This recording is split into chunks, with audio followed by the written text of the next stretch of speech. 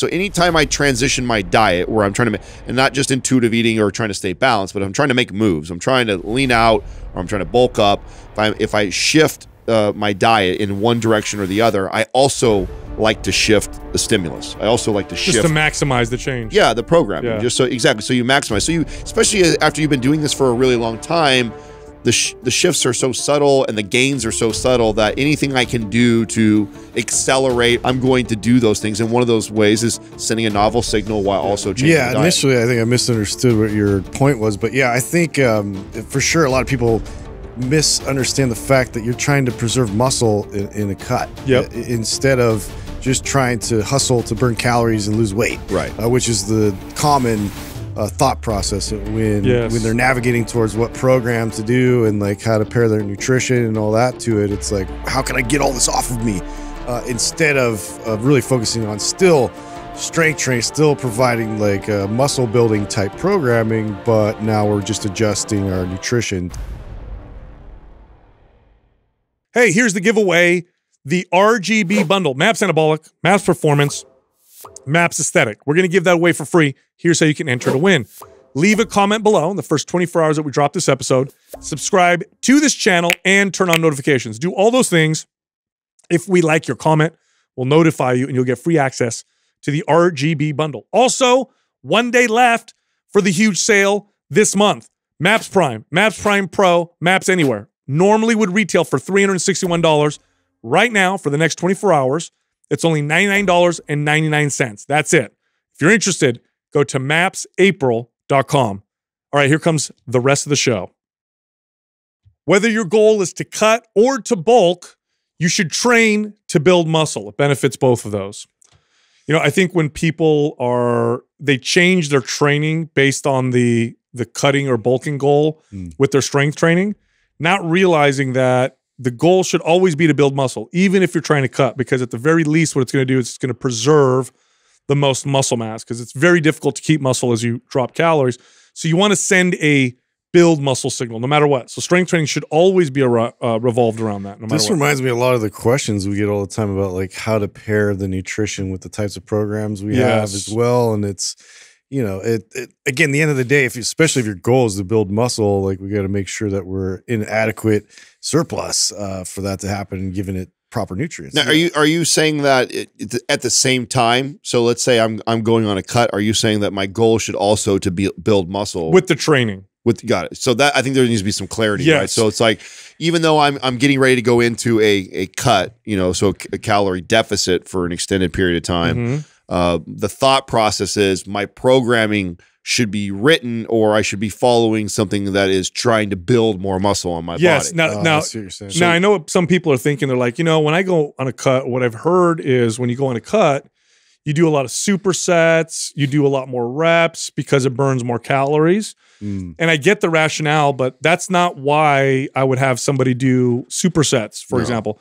If it's a novel stimulus, whether you're in a bulk of calories uh, or you're in a, in a deficit with calories, it's going to build muscle. So the, the- what you want to do is what you want to do to build muscle with your training. Then the diet is what determines whether or not you cut or you bulk, because the signal that you send with your strength training is going to at least keep the mu- the muscle the most, right? It's going to keep the muscle the most as you cut your calories. So someone may ask, well, why then do people do supersets and stuff? Well, they think it burns more calories, but there is a psychological benefit. I like to do supersets and higher reps when I cut my calories, not because there's some special fat burning properties to that kind of training. It's the psychological piece. Yeah, because you I have to go feel like- lighter. you don't feel like a wuss because you're having to lift half the weight because you're not as strong. Yes. So if I'm doing super, I'm going to go lighter anyway, right? But I've done, you know, five by five type training on a cut as well. It was a novel stimulus. And so I said, I'm going to switch to this style of training to keep muscle while I'm dropping calories. It's the most effective thing. What would make me decide is is hundred percent what I was doing before Yes. I transitioned to cut. That's regardless of, and I agree with you. Like the psychological benefits of going lightweight and supersetting and high reps when you're in a cut because you're in a calorie deficit. I think there's a lot of psychological benefits of that. So you, you're not like discouraged every day that you're like you're getting Yeah. weaker and weaker. Um, but that that would be different if say I was just running like let's say a phase three of maps aesthetic which is a lot of supersets high reps right So I just come off a map set, and then now I now I'm deciding. Okay, it's I've been running that let's say for three or four weeks, and I go, okay, now I want to start a cut. So if I wanted to start a cut, even though I agree and I like the idea of supersets and straight, I would move out of that because that's what I was currently in. Yeah, so you get So- a new stimulus, a, a novel stimulus, right? So you would go into like a heavy training phase, That's right. even if you're cutting your calories. That's right. That's right. And so I think that's the the key takeaway for transitioning in and out of. And I like that for going into a bulk. So anytime I transition my diet where I'm trying to ma- and not just intuitive eating or trying to stay balanced, but I'm trying to make moves. I'm trying to lean out or I'm trying to bulk up. If I if I shift uh, my diet in one direction or the other, I also like to shift the stimulus. I also like to Just shift to maximize the change. yeah, the programming. Yeah. Just so exactly. So you maximize. So you, especially after you've been doing this for a really long time, the sh- the shifts are so subtle and the gains are so subtle that anything I can do to accelerate or make those gains look like they're more, you know, Yeah. I'm going to do those things. And one of those ways is sending a novel signal while also changing. yeah the initially i think i misunderstood what your point was but yeah i think um, for sure a lot of people misunderstand the fact that you're trying to preserve muscle in, in a cut Yep. instead of just trying to hustle to burn calories and lose weight right. uh, which is the common uh, thought process when Yes. when they're navigating towards what program to do and like how to pair their nutrition and all that to it. It's like how can I get all this off of me uh, instead of of really focusing on still strength training, still providing like uh, muscle building type programming, but now we're just adjusting our nutrition to to be more in a Plus, the the the side effect of having more muscle, we've, as we've said, uh, I don't know, at least a thousand times on the show, is a faster metabolism and easier fat loss uh, process. But yeah, if if you're going on a cut, your goal should be to build muscle with your training. In other words, do training that you know is either novel or or different enough to where this is going to stimulate some growth. Now, you may not, and you probably won't build muscle if you're in a calorie deficit, but because you're sending a build muscle signal, you'll lose less muscle, or at best, you'll keep what you what you've built when you go on the cut. And that's the challenge. The challenge is how do I keep my muscle as I get rid of body fat? And the best way to do that is to send a build muscle signal. There is no such thing as a keep muscle signal, right? You're either building or you're losing. Right. So build muscle, build muscle, drop the calories, and at the very least, I minimize the amount of muscle. Now we're we're we're speaking towards rep ranges right now, but this applies to even like uh you know novel stimulus can be different exercises. right? Totally. Like so, I love Mhm. to do both. Even right. Okay, I'm going to transition.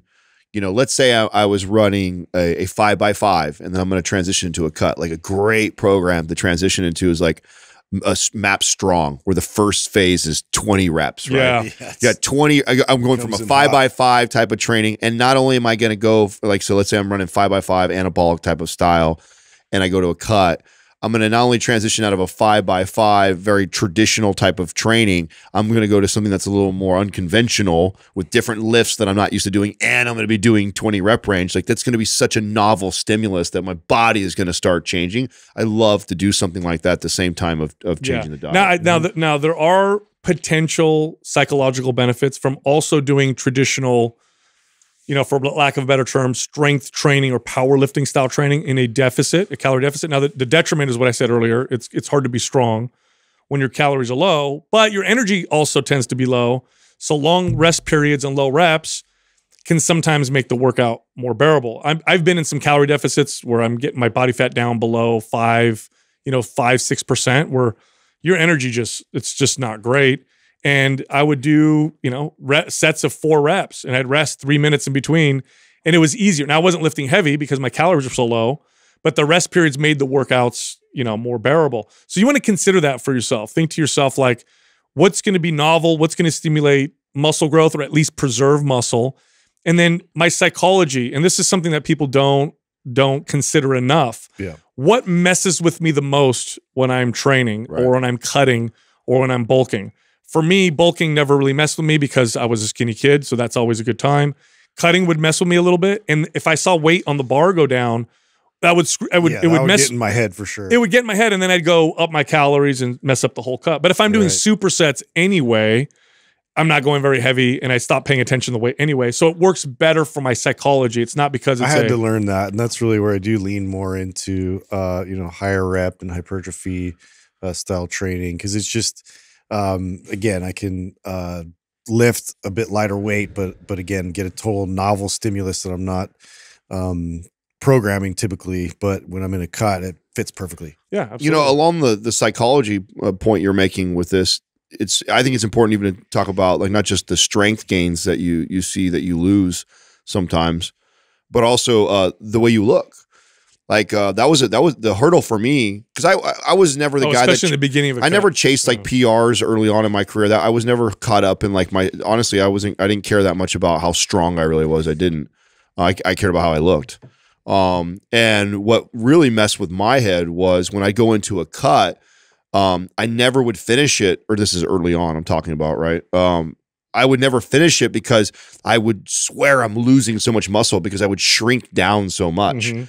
And so, yeah, maybe my waist went in a little bit too, but then like my arms, I felt like my arms got way smaller, my chest got small, all the muscles You that I don't worked feel as pumped. yeah, because I'm not. You're you, you got to understand that like your your muscle bellies are full of carbohydrates and water and fluid, right? So you have all this fluid and carbohydrates in there. If you deplete, it sucks that out. And if you're a taller, bigger guy, that's going to be a that's a lot, right? And so you can your muscle bellies in the in the bodybuilding world we call it looking flat, Mhm. right? Because you're not filled up with all this.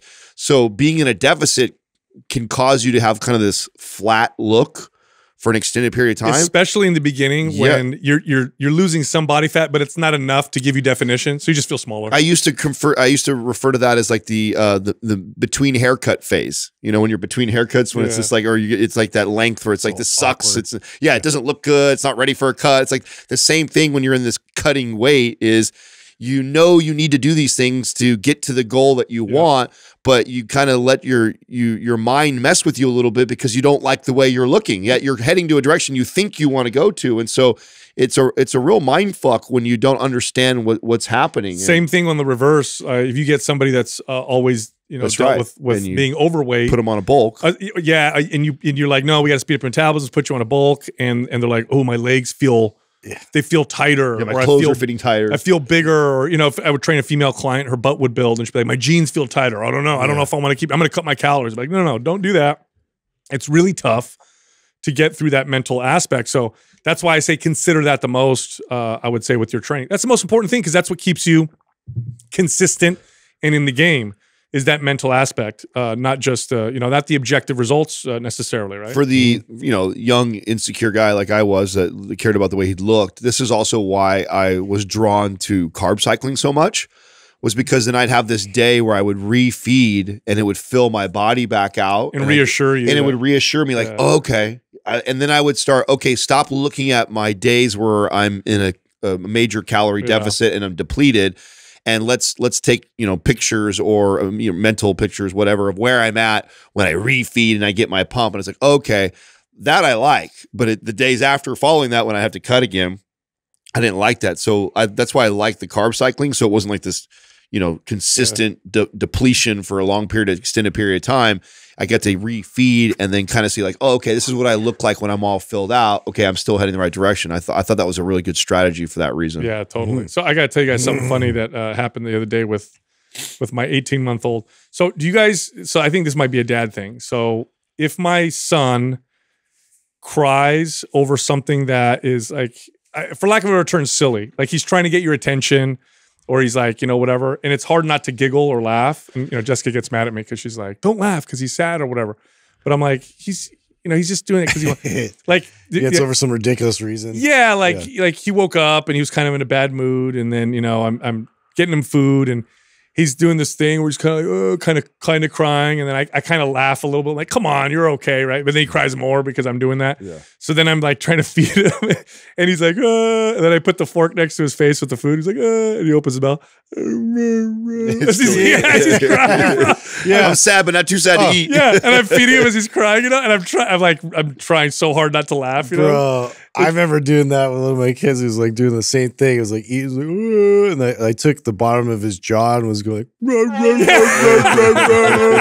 like, like Chewbacca. It's just, It it's was a, hilarious. It's a dad thing, you know. Yeah. But Jessica's like, he's gonna feel, and I, she's right. I get that too. But I'm like, I mean, she's right, but so are you, right? Because Katrina and I had the same battle on this, and I think I think there's some there's some value to having levity in a situation like that, don't you think? Like I feel like being playful about it and not reacting to every emotional response because they're going to be emotional and react to things Yeah. like all the time. And if you're the parent who's always like overly sensitive because they're crying all the time, or you, or the opposite extreme where you blow them off, Yeah. I feel like having some levity around those situations sometimes there's some Well, I think value that's to that. why there's value in having you know two parents that Right. balance out, It balance that is out. But there- helpful. yeah, like like he like the other day he fell. He didn't hurt himself, right? But he fell and he kind of laid there and he looked around and then he saw that like you know we were looking at him. Mhm. So then he's like, you know, doing that thing, and I'm like, oh, you're you know you're Yeah. fine. And I go and try and tickle him while he's laughing or whatever or crying. It's funny how quickly they're trained to know that that mom is Yeah. the sensitive one and dad is not. And like those, like when Max, anything happens like that with him, he bumps his head. Uh, Like I could be, we could be playing him and I. He bumps his head. He'll get up from me, walk across the house to go find Katrina, and cry. and, and do this. Oh, yeah, it's Yeah. cute bro, though, right? come on. Yeah, no, it's it's, It's- it's, have you guys it's ever adorable when they do. Have you ever seen the video? It's an old video, but there's this kid and he's like, uh, he's on the floor kind of crying or whatever. And so the dad, I think it's the dad or the mom is recording him. And they walk around the corner into another room and the kid stops crying. And then they walk around the corner and then they see the, the mom or dad and they fall back down. Ah, and they do that like three or four times you know, around the house. I'm on you, bro. Yeah, I'm on you, dude. dude. I can't figure out, and maybe one of our listeners has has gone through this with their kid, but the, Max is going through this really weird phase that we just like. I, I thought it was going to be short, but we're going on now. I think a month of him consistently every single night, dude. He's doing this. Wraps himself in the. I mean, we've got now. We got rid of the comforter. We're now stripping him down to just like his his diaper and either a shirt or his pants. That's it.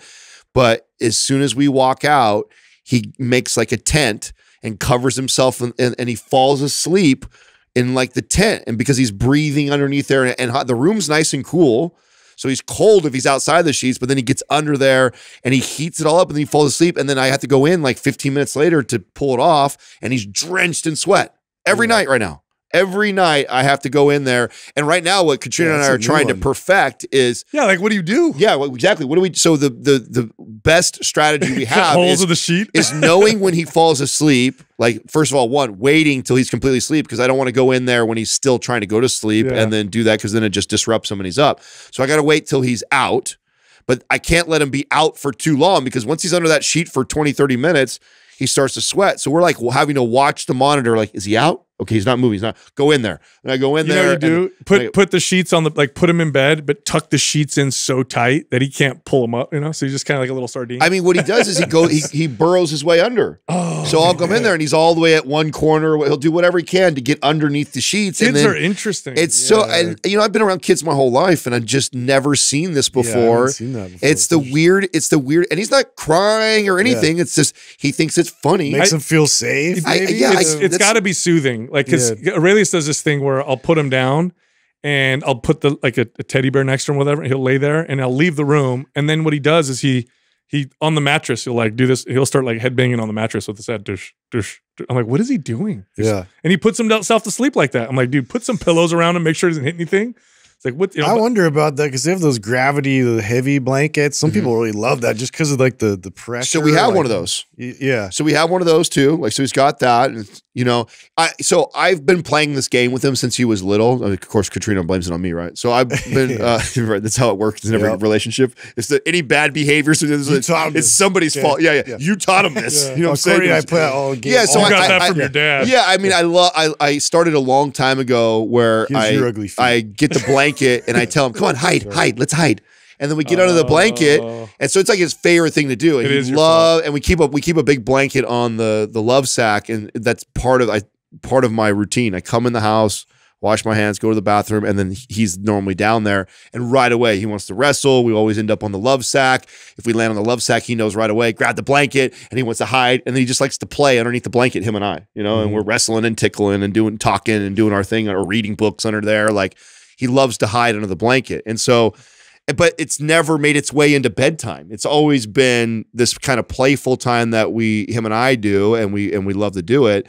And then just recently it's become this thing that he does on his own when he's in there and it was cute and funny the first time but it's like oh shit, he's doing this every night now and it's causing him to be like soaked. I go in there and I had to like strip all the clothes off of him because he's. And I'm like, buddy, Maybe he's are you- found Narnia in there. what are you know, doing, don't buddy? it's like it's, He's like, oh, it's so hot. Why do you like that? And Yeah. just- Kids are hilarious. Yeah, You it's random. Did your son do this too when they're little and you like you're changing their diaper or whatever, and if you like turn away or whatever, they run away Oh, and they're just naked running Yeah. through the house? It's the funniest thing. I ever. let him do that. Katrina gets mad. That's another thing Katrina gets on to me about. It's, just- it's I the think, funny dude. I think it's the funniest thing uh, too. like a, a one and a half or two year old running around the house. I chase him, naked butt, naked. naked butt, naked butt. Yeah, yeah, know, yeah. Then I chase him around the house, and she's like, "He's gonna piss on the carpet. and He's gonna clean it." Has he- done that yet? Did Yeah, you figure yeah, out how yeah. to do that? One of the, in fact, one of the first times that she was getting on to me about that, and I'm like, "Oh, he's fine."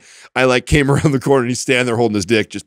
On the, just- on the carpet. All right, mommy's right. Uh-huh. so yeah, I had a, I had a buddy who his son uh he tried was trying to draw like circles and triangles on the carpet with his pee.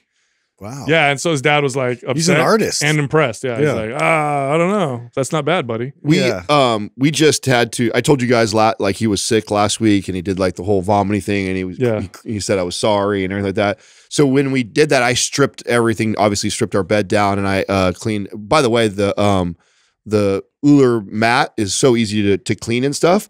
But since I was doing that anyways, I didn't know that um there's like uh, you can use either side of the Ooler pad. And can flip it. yeah, Yeah. and the side I was using is the side that it looks like that's the way it's supposed to go. But the opposite side, they say if you wanted to get cooler to use faster to use that side. What? Yeah, so it's the reverse. I didn't know It that. How looks did I not upside know that? down. I didn't know that either. I can't remember where I read it or Do you how know I what? found- By the way, do you know what the best temperature for sleep is? I've just I, I've been looking I, up like I can take a guess. Can I guess? I would 65. uh, 57. 62. sixty-five. Oh, is it? Oh, I thought it was 60 like for most people. Of course, there's going to be you know variants or whatever, but 65. things. they've identified as 65 degrees in the room generally produces the best REM sleep and re, and and consistent sleep. Is Wow. that right there? I just know that's my number. So Is that where you like to yeah, be? I like 65s. I like ideal so for cool. me. What do you guys? you set, go even lower. what do you guys set your chili your the your lowest. chilies to? I think 55 or 52 is the lowest it goes. I go all the way to the. All the I way usually to do it like on the super low, and then it uh, as before bed, I kind of bring it up. Have a you guys? I asked you this before, and I think you one of you guys started doing this. Have you done it where you get it to slowly warm up Yeah. to wake you up? I have No, mine's I haven't done that. I feel like it would make me need to pee, like real bad. Well, it just wakes you up. What are you afraid of peeing your bed? I will pee before I even get there. oh, my Yeah, bad. it's just, Yeah. you know, No, I'm I- sensitive like Well, that. I even like I like Okay, it too Justin. for like weekends when I don't Throw out have my to get dirty out of my laundry. bed right away, and it's nice to kind of lay around and it's actually warm in the in the bed. So, uh, It does wake you up though. oh yeah, no, it definitely. does. I mean, Yeah. I wake up if if I get if I go up a degree, I'm like I'm so. We didn't have the the the pad on there for a couple days while I was washing and stuff, and so I had the doors open. I left the room one night, and Katrina was like, "You left last night. The door was open. It was." I was like, "Yeah, I still got hot, hon." She's like, "Jesus, I was freezing. How are you hot?" I'm like, "It doesn't take much." Where were to- we? Where we shared? Oh, we were in Just- we just Arizona. recently- yeah, just recently. What an asshole, bro. We What? get in. No, we get into the, this. Oh, you guys shared a room? what do you No, do? then? no, What's there the were two first thing you do when you get into a hotel? You turn the AC on. Hold on a second. Hold on a second. First of all, there were two rooms. It's actually a big place, and there were like two rooms. Yeah. But we go in there, and the AC's already blowing. It's already cold as hell in there. Okay. So I didn't even think twice. It's already on. So I go in and I un- unload my bag and you know change you know into some different clothes because we're gonna go to the event or whatever. And I'm like, damn, dude, this AC is still going. Whatever. So we leave. We do the event. We come back. And I'm like, holy, it is cold in here. and then I looked at I looked at Adam like, did you turn the thing down? He's like, you turned it on Arctic. That's bro, he put it he put it to the coldest. I do. I when I go to hotels, I put it the lowest it will go. It's some are- ridiculous. some are some Uh, will let you go down to fifty. for that too. do I know, it similar. and maybe that's what it is too, because I can't do it at home. yeah. I can't run the house that cold at home because Katrina doesn't like it that cold, and so I only. Uh, dude, so- I'm in I sleep Arizona, so bro. Like I'm in. Arizona. I'm like, I have to put like a sweatshirt on to go to bed. it's just too much, dude. Oh yeah. What bro. is going on? Yeah, I just, I mean, I sleep. I so I like like because you know her argument or like she always says back. Why don't you just sleep with just a sheet?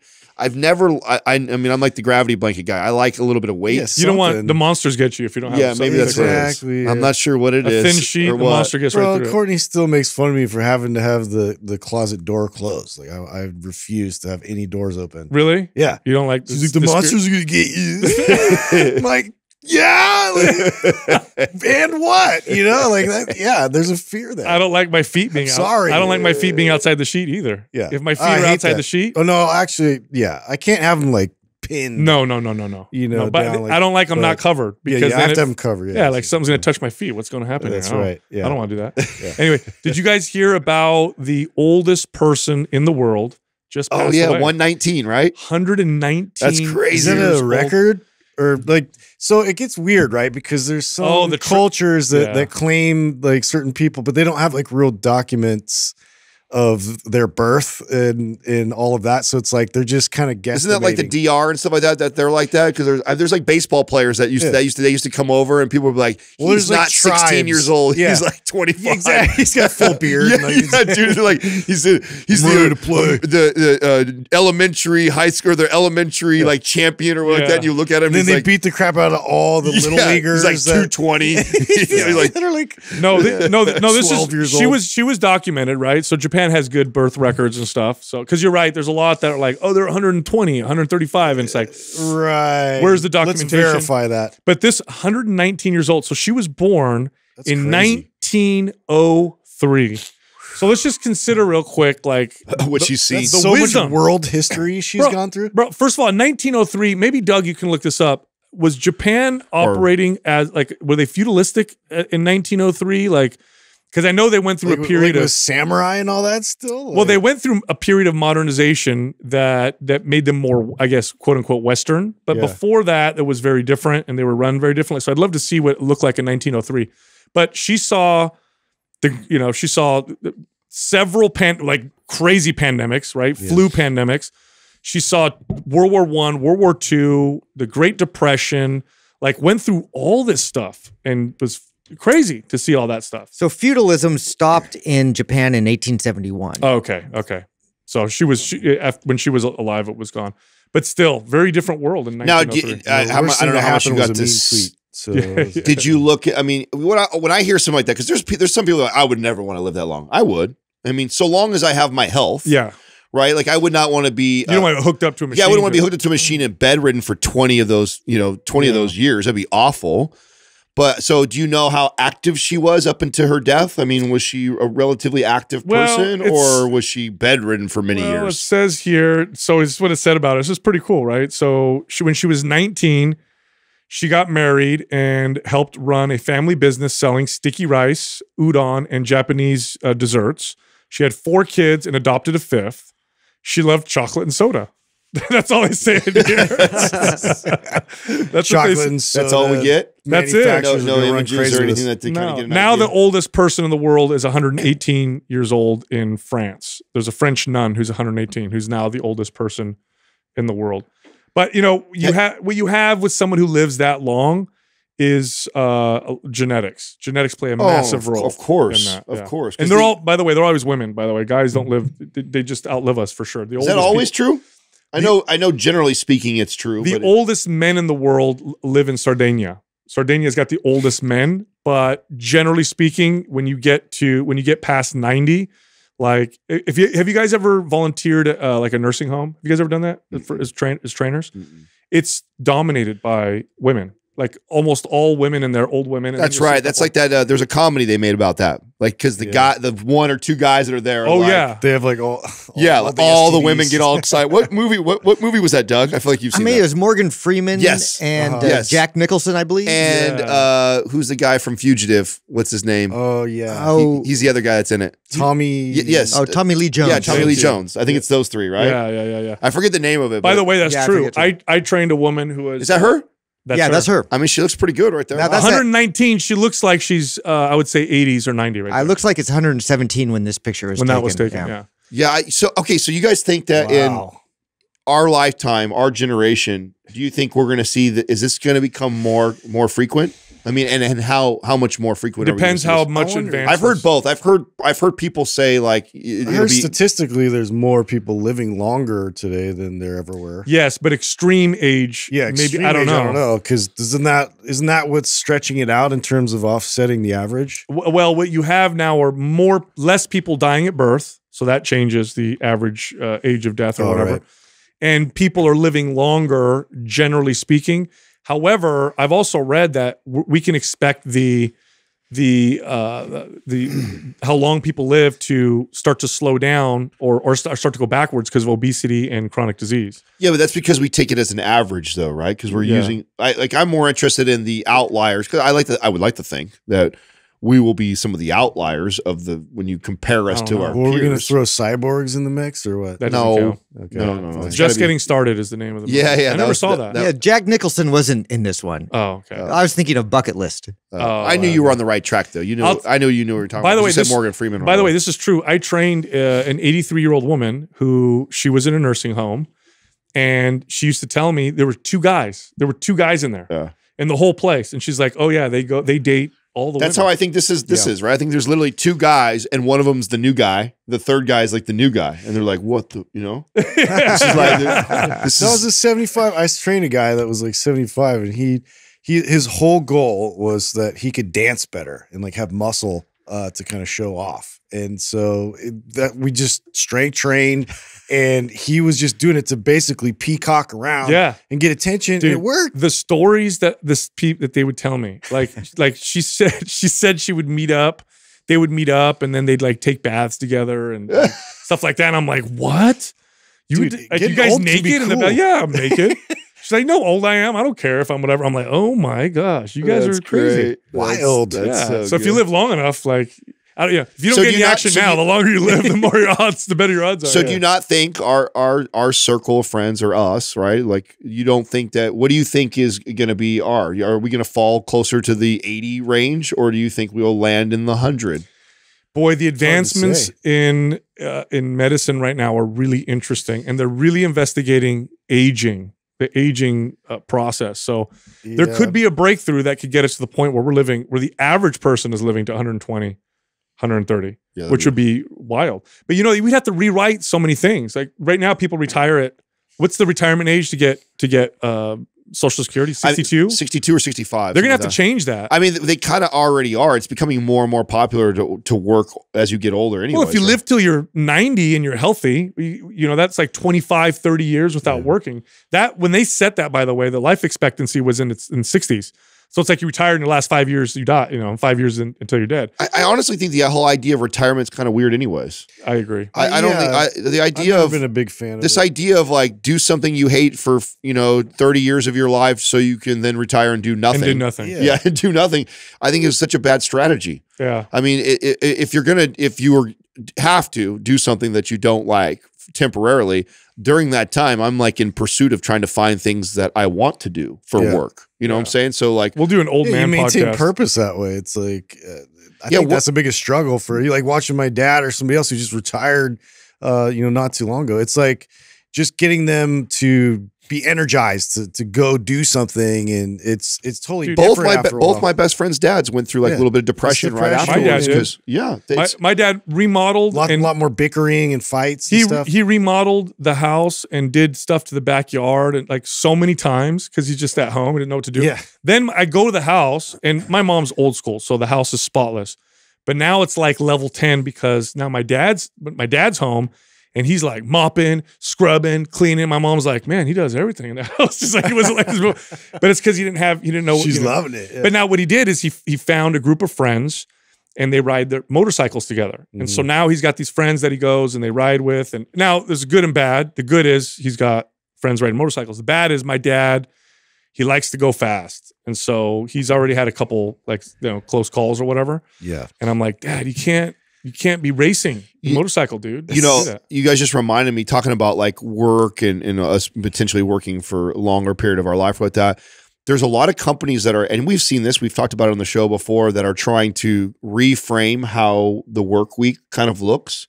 And we just recently got our, you know, our investor email with LMNT. Did you guys see uh, what they're doing? Oh, you were talking about that. What what are they doing? So there, and, and Doug, you can fact check me to make sure. I'm pretty sure this is how it, if I'm understanding it correctly, but they're doing a three one uh, uh work cycle. so, work three, take one off. Work three, take one three off. weeks, one week off. What? Wait, is it three weeks, seven days a week? I think so.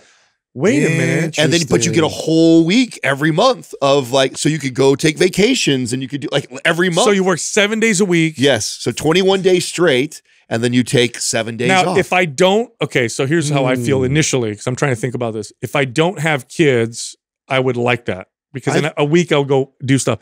But with Yeah, kids, he- I like to have yeah, those but days off. even with the kids, uh, not every every month you could take a week long vacation. yeah, but them. I'd rather have weekends every week with the kids because of the frequency. You know what I mean? Like three weeks for a kid's a long time to not have like all day with them. You know what I'm saying?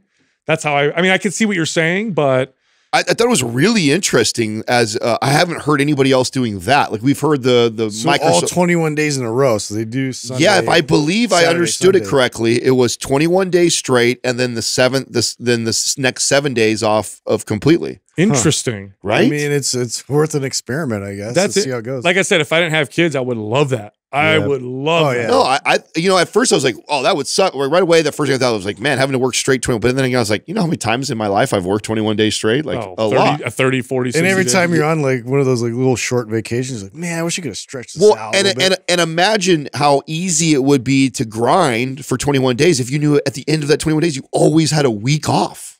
Mm. That'd be really, really interesting. And I, and I, now I'm sure there's productivity would be the one, the main game. well, that's that's what they they think Yeah. is they think that they're seeing people are way more productive. Like it takes a couple days to get in the swing of projects, so that that way they can be Yeah. focused for 21 days straight That's with no breaks to get and get way ahead, and then they get to take the I feel like off. startup companies do that anyway, but they don't take that week break. they Well, just, oh, they okay, get yeah, in the zone and they get projects done, but then Um, it's burnt. Imagine if you did it like um, what do you call that? Where schools do this, where they're like everyone's on different tracks. So Oh, right. imagine if you have 50 employees. Oh, that's what they'd have to do. and Yeah. they and they they yeah and it. then they Yeah. they're all rotating so as a as a employer you never not have work being done on your business Now, if you have a partner, Yeah, you just have different segments. if you have a partner, you'd have to have a similar schedule, right? Because you have a week off, your wife works normal schedule. Like, what are you going to do? Oh, I guess I'll be, you know, I'll go on my own somewhere. Or so I could see how it they could have its benefits too I could see how. and that's a bad. yeah yeah, that's what I and the worst, the worst, the con So, hey, where's the con you guys have kids. Where are you going to go? You're going to be at home with the me I kids. can go fishing. No, I listen. You know what By this sounds. You know what this sounds like? It sounds like it, it's schedule that would attract the single go getter. That's what it sounds like. sure So without- without saying we only want single go-getters. I mean, LMNT is a startup, so I mean Yeah. that that's probably what they're that they want to attract.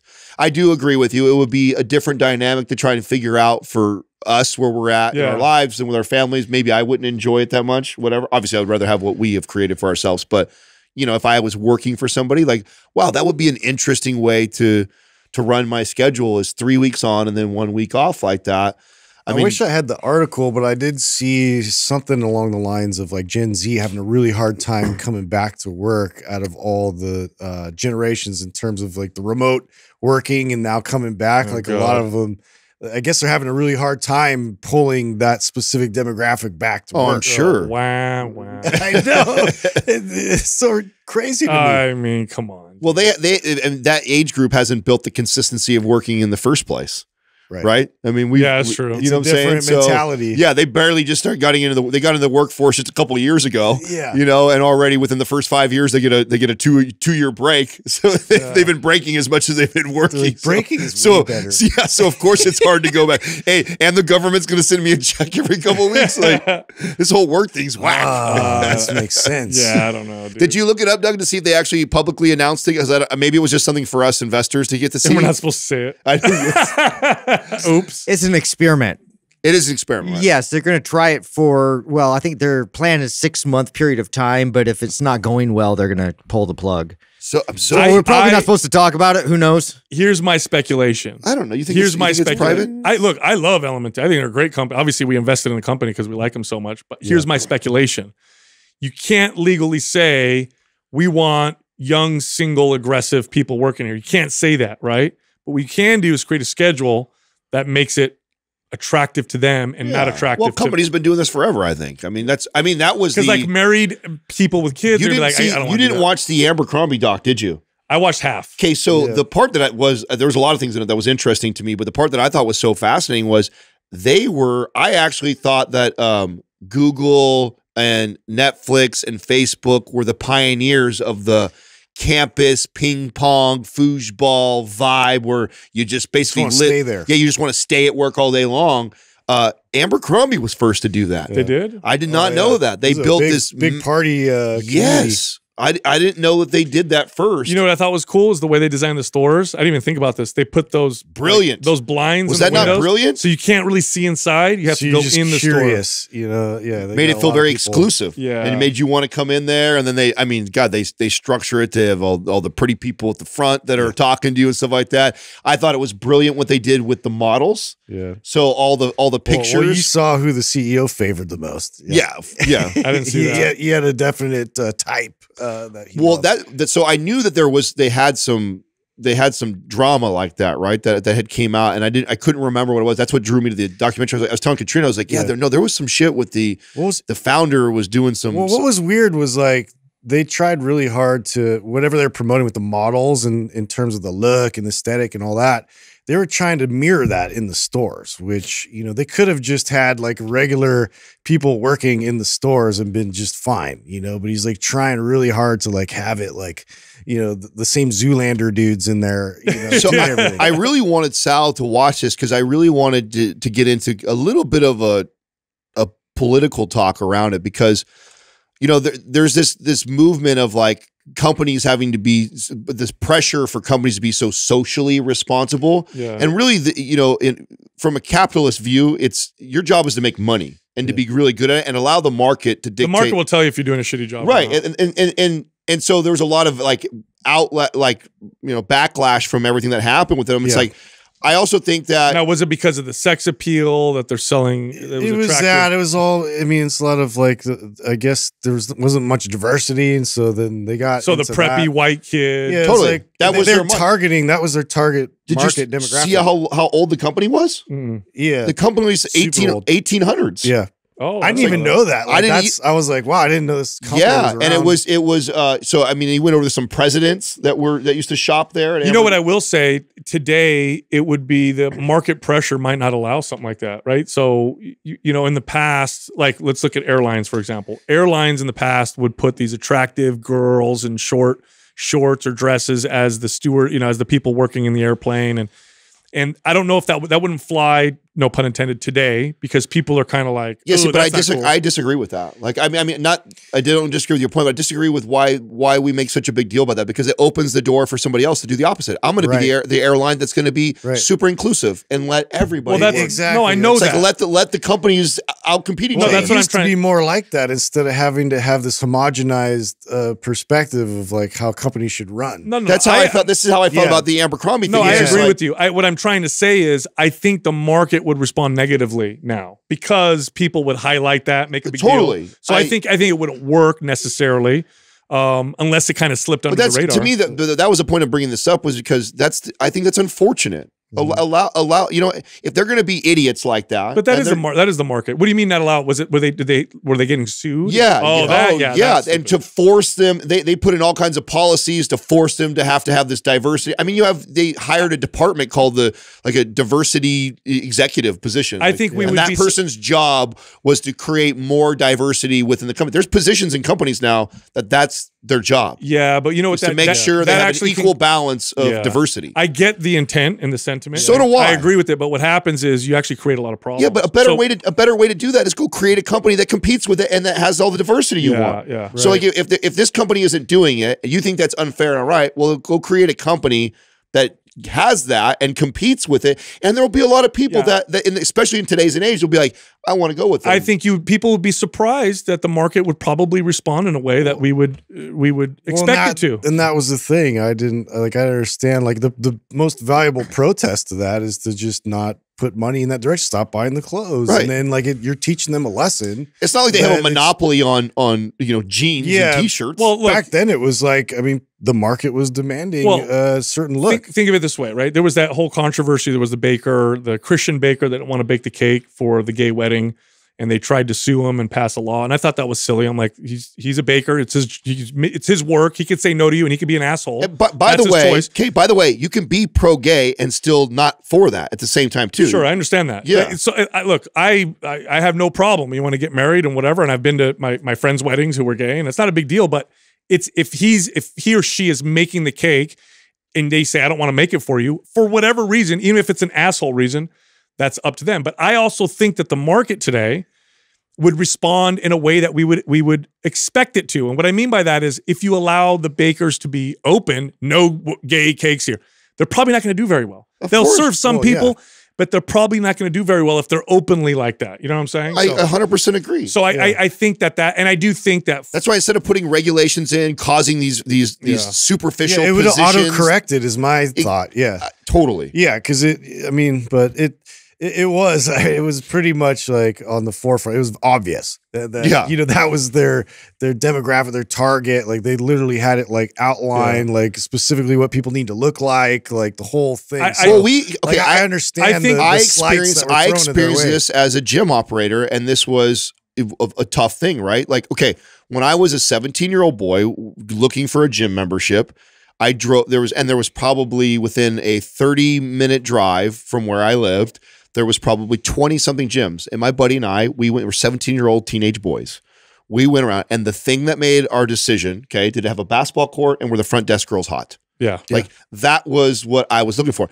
Now I know I'm not alone with those criteria for for buying. So because somebody decides to to appeal to me by doing that, now they can get in huge trouble for that. Well, Why I do you also think I watched Baywatch? You know what I mean? well, obviously, look, I also think again, markets now are a little different. Like, I, I wonder how well like Hooters is doing, for example. Like Hooters at one point was probably really Bro, popular. sex I- al- sex always sells. but I bet yeah. you, I bet you, they haven't done as well because it's hmm. not. Well, here's as- my theory: is that I I, I don't. I would love to see that. I don't think. I don't think Abercrombie dies today. Well, it hasn't. It's still around. I don't think that it, what would happen is just it would open the door for someone to compete with them because there's there is okay. There's a bunch of people that don't give a shit and like going there and seeing the hot kids that are working there, and it is what it is, and they're going to continue to shop there. Mhm. And then there's a group of people that they didn't even think about that. That's not important. They like the style of the clothes, and opens the door for competitors who are not going to be inclusive or exclusive and be inclusive. And that kid's going to go, hey, you know what? I like what this other brand stands for,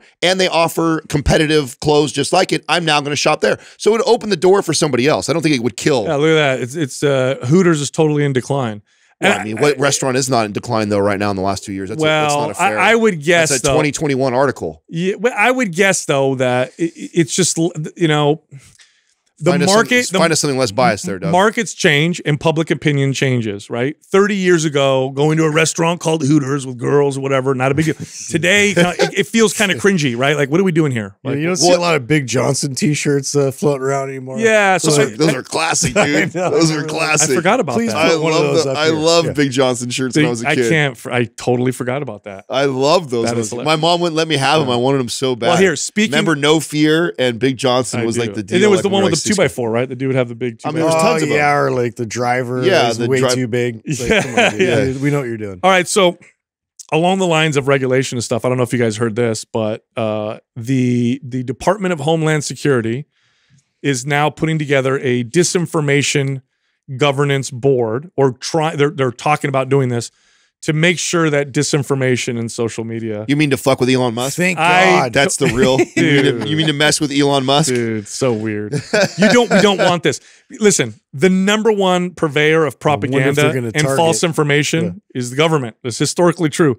Don't you don't want to put them in charge of telling you what is necessarily true and untrue. That's not a good idea. It's Now- not a good idea. Now, how will this work too? Because I mean, he's what's amazing, what's so great about Who's this deal this board? is that he's taking this from being a publicly traded company to now a private company. Yeah.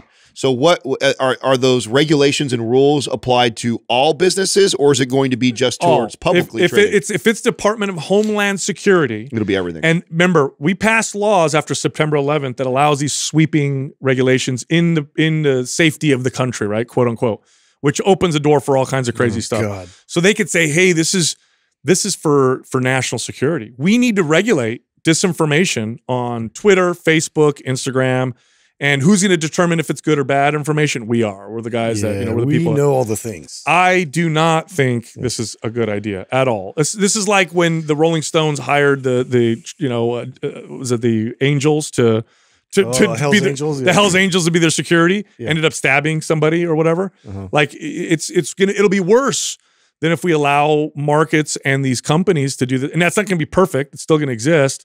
But Oh you yeah, know, you don't think that like that's going to get manipulated in a 100%. certain direction? I- Come on, dude. I- humans are biased. You need both sides always. You, Yes. need, you need that conversation like to continuously happen uh, to know what truth is. You don't know what truth is just because I said so. yeah, no, I don't love like the fact that they're going to make this so difficult for Elon Musk, and he's still going to kick the shit out of everybody. Well, I mean, hope so. Ju- you just watch, Let's- dude. Yeah, the I government coming just at him. I don't like that. But He's they're they're going to continue to make it as difficult as they possibly can for him, and he still will. Watch, he will. If he becomes, if he really becomes a target, there he's done. I I mean, that's the truth. I, I, they've taken out, and, and they'll do it in a way to where we won't even. uh, We will be supportive of it because I don't. have a lot So Business Week did this stupid post. I, I comment on it like it was uh, Nancy Pelosi coming out and like bashing Elon buying Twitter and basically saying, "I can't believe we're letting this billionaire." she's my favorite. And Business Week, yeah, I know, right? Business Week was, you know, kind of taking that. Boy, you should have seen the the comments underneath there. Elon has got a following, man, of people that really, really like. I, I mean, I know we've come off that way, right, of being these massive fans of Elon Musk, but I just, I don't know the guy personally. I He could don't. Be, Like, for could all be- I know, he could be an asshole. Right. Just like yeah, like again, if he's principled and he he does what he says he he will do. Yeah. You don't see that a lot. Listen, I like the shakeup. I like the shakeup. So do I. they're- what- okay, they're 100% big tech is biased in a direction. It's a fact. And you can look and see where their employees donate. You can see what gets censored and what doesn't get censored. In their defense, though, Sal, I want to make the point that I don't think that's because of their founders, though. There, uh, Jack No, Dorsey was not like that. I don't believe Zuckerberg was like that. Most of these guys are libertarian type of dudes that want free market. I think they've been pressured in that from the loud minority to go in that direction. So you know, it's kind of unfair. and it's kind of unfair to umbrella like Facebook or Twitter or these well, these like. look at here's here's what's interesting. Yeah. Twitter sells to Elon. The deal goes through, right? So he's about to buy it. The next couple days, yeah, all yeah, these they're scrambling. all these conservative uh, people on Twitter, all these pages are mysteriously getting 50,000, 100,000, half a million new followers as if shadow banning or their shadow bans got lifted. What I think when you have 18,000 employees, you can't manage all of them. So some of them are going to they're going to turn the knob here a little bit, knob there a little bit based on what they like, what they don't like, make it so that it's not super obvious. I've been shadow banned on Instagram many times and it was weird and nobody could find me like what's going on. So I don't know. I like the fact Did that you it's see getting my shaken up. my Ari post? The video of uh, Ari from uh, uh, Entourage. yeah, yeah. It says Elon Musk walking into Twitter the first day. Oh, He's got, like, it's a, scene from gun. Ari. He's got the paintball gun and he's just firing everybody. Oh man, that's that's gonna be a it's gonna be a good time. Oh, I'm, exci- I'm excited. I think it's gonna. I think it's gonna be I do too. fun to watch. Well, That's it's it. hard What- to argue that you haven't seen a complete bias on all platforms. Like it's just it's just so blatantly obvious. And now all of a sudden it's like there may be uh you know a chance to to hear other voices like contribute to the conversation. I just get it's it's so weird to me that people are so adamant to stuff that out. Like obviously it's great when it fits your bias. Uh, well, I know Well- this has become very politicized, but I'm at the part that I am excited about is. I mean, I just think he's uh, just brilliant when it comes to building business. I want to watch the business. He's created several Like- billion like- dollar businesses. Yeah, and and Yeah. when you they compared, I, I saw this thing where they compared like you know Twitter, Google, and like the average income of the employee and stuff like that. And Twitter compared to all these other tech Oh, it was, it was how much revenue per employee was produced. yeah, and it like Twitter was bad, really bad. like a bloated company. Wow. and so saying. I can't wait to see how much better he makes this Look- company by going in and and freeing up some things, and Just- doing some real basic smart shit. Look, just to balance things out, so people don't think uh, you guys are on one. I'm gonna look. I'll talk about uh, a conservative that really annoyed me recently, which is Governor DeSantis, who is acting very much like an authoritarian. Obviously, Disney. So here's what happened, right? Disney made some political commentary on a, on a bill that he passed. So all of a sudden now they're changing their status that it's been en- en- enacted since 1967 to apply pressure yeah. on Disney, threatened to sue Twitter because of their, you know, fiduciary duties, uh, you know, whatever. This is all political power in an authoritarian way. I don't like that either. And it open what it does is when the when the right does it, then the left does it, and then the right does it. And Well, you called don't, I don't like it when it's dominated in one direction. Well, you called, no, you called this a few other. days ago. As soon as he did it, the minute it came out and we laughed about it, you said, "I don't like it." No, and you said this is what it's going to stoke is the opposite direction, and you were right. Today it already came out. The Yeah, th- people are talking about, oh, well, you know who else gets special tax privileges? Churches. We need to look at that as well. So what happens is you move the bar Yeah, up a little yeah, bit, and, and the go. people on the right, when the bar is moved up their, on their side, they're cool with it because it's what they want. Yep. And then the left is pissed off, and then it's time for the left to do the same thing, and they move the bar up a little higher, and that's and then we end up Yeah. here where the bar is way up here, and it's like like every election now it, that comes, you know. First it was oh the, the Bro, votes weren't counted, and then it was intense. Russia, co- you know, Russia know. collusion, and then Trump. Oh, the fake votes or whatever.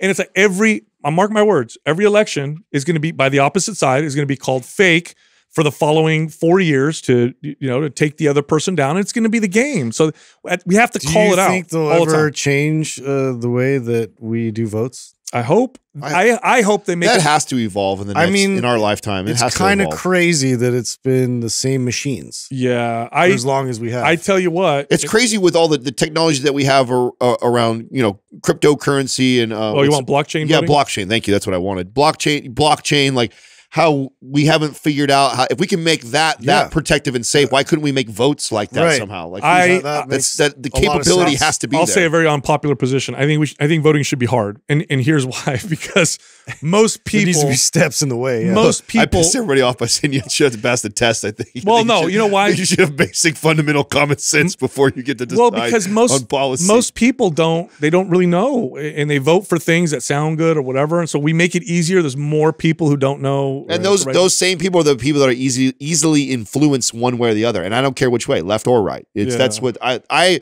I'm in agreement with you. Like I, I'm even okay if I didn't get to vote because maybe I don't do enough. Like I don't So you study take- enough. You said you have to take a test. I yeah. that. I mean that's but then who writes the test? Yes. Yeah. I mean, of course. I mean, you can go down this rabbit hole of Yeah, like it could. that's- It's that's the here's the, deal. It could always be corrupt. It could, there's always going to be people trying to manipulate. There's always going to be evil people. Like there's no, any way you go, it's going to be like that. I just I do agree that right now the strategy for both left and right is always to gain the populist vote from the people that are easily manipulated Yeah. Mhm. and they and it's just this battle back and forth or who can get this get this vote and it's like man honestly i'd rather the the people that like actually study all these policies and understand history and economics and like I just don't how like- these things influence us we're making more I just hate inconsistency. It's like you know, all, oh, you're over here saying it's a it's a private company; they can do what they want. When you're it's biased in your direction, then somebody buys it, you don't agree with them. Now you want regulation, Right. or hey, I don't like it when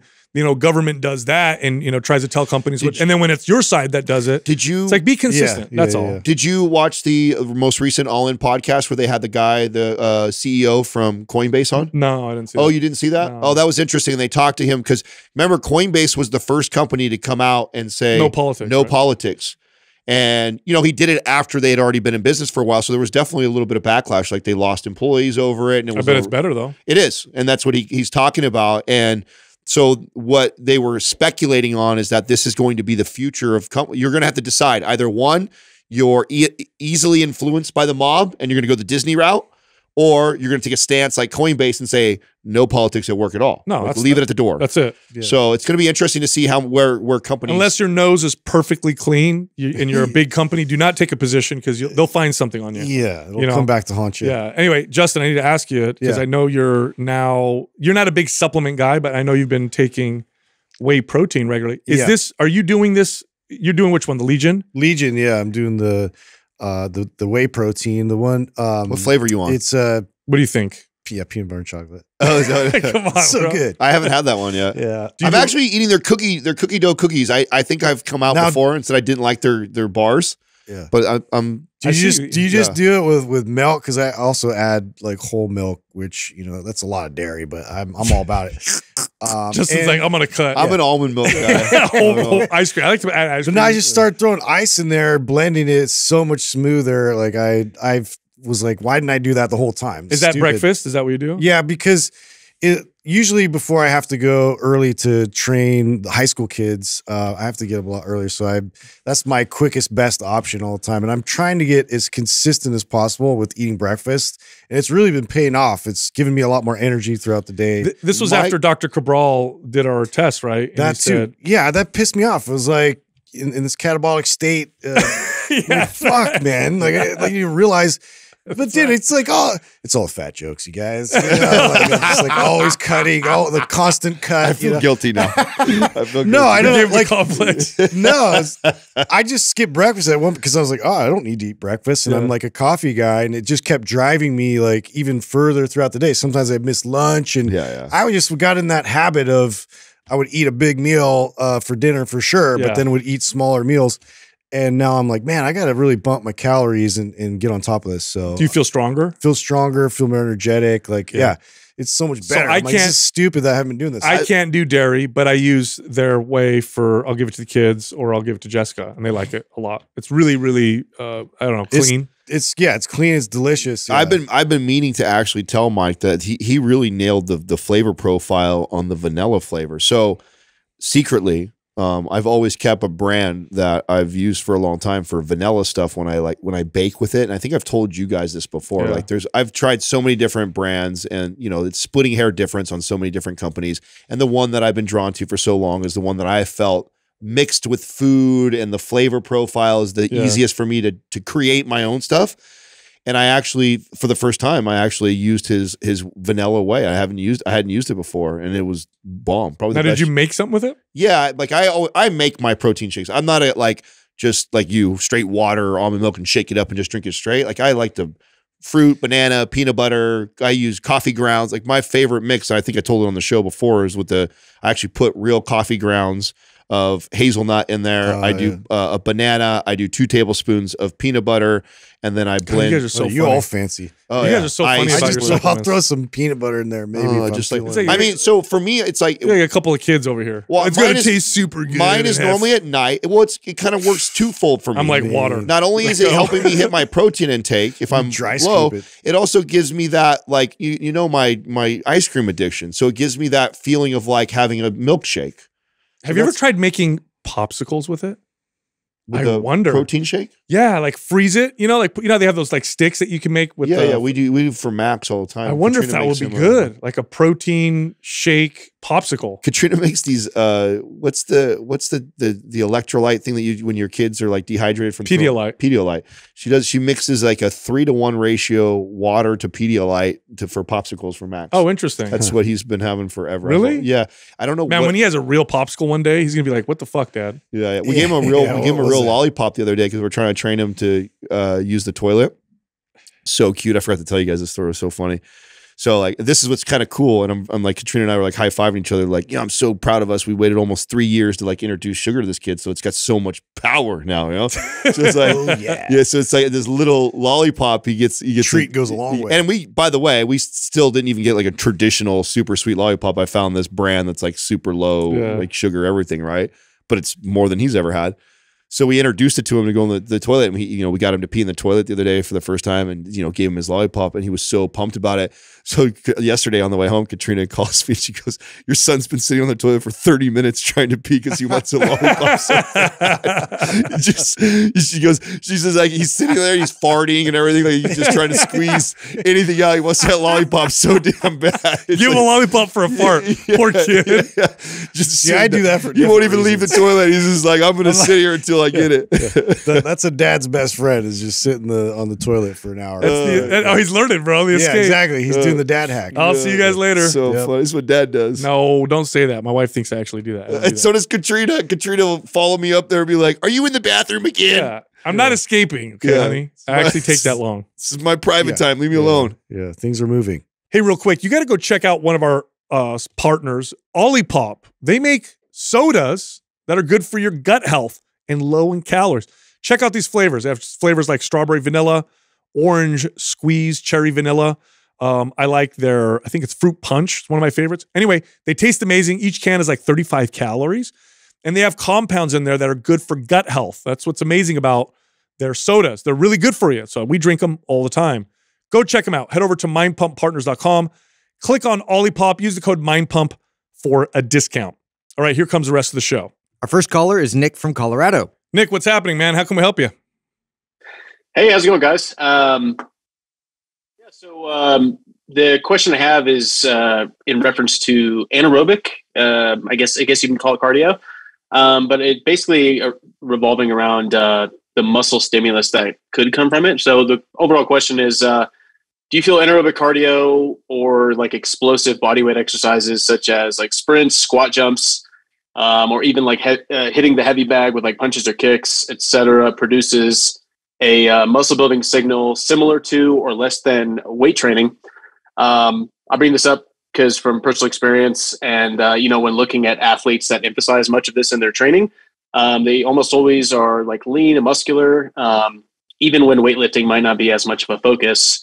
Um, but yeah, I mean, obviously, I know they burn more calories than average people, but I was wondering Let's if. fir- Uh, let's oh, first sorry, go ahead. let's first address the athlete thing. In fact, I think uh, Sal brought this off uh, brought this up off air yesterday. Yeah, we were actually, just talking about we were just talking about how people look at athletes and then you know we try and attach the sport or what they're doing to oh look at how their bodies look when the truth the reverse is what's happening is they already are these you know ath- superior they have superior genes athletically and therefore they gravitate towards these sports. It's not the way they train that makes i mean i've met plenty of football players that eat taco bell twice a day and touch weights you know hardly ever and they look better than i looked on stage. Yeah, so it's, a, it's a good point because uh, although the, the the sports themselves does contribute obviously to fitness and Yeah, changes sure, in the body, sure. but when we look at the top level of athletes, what you're looking at are hardworking, genetically gifted, specific to the sport that they compete in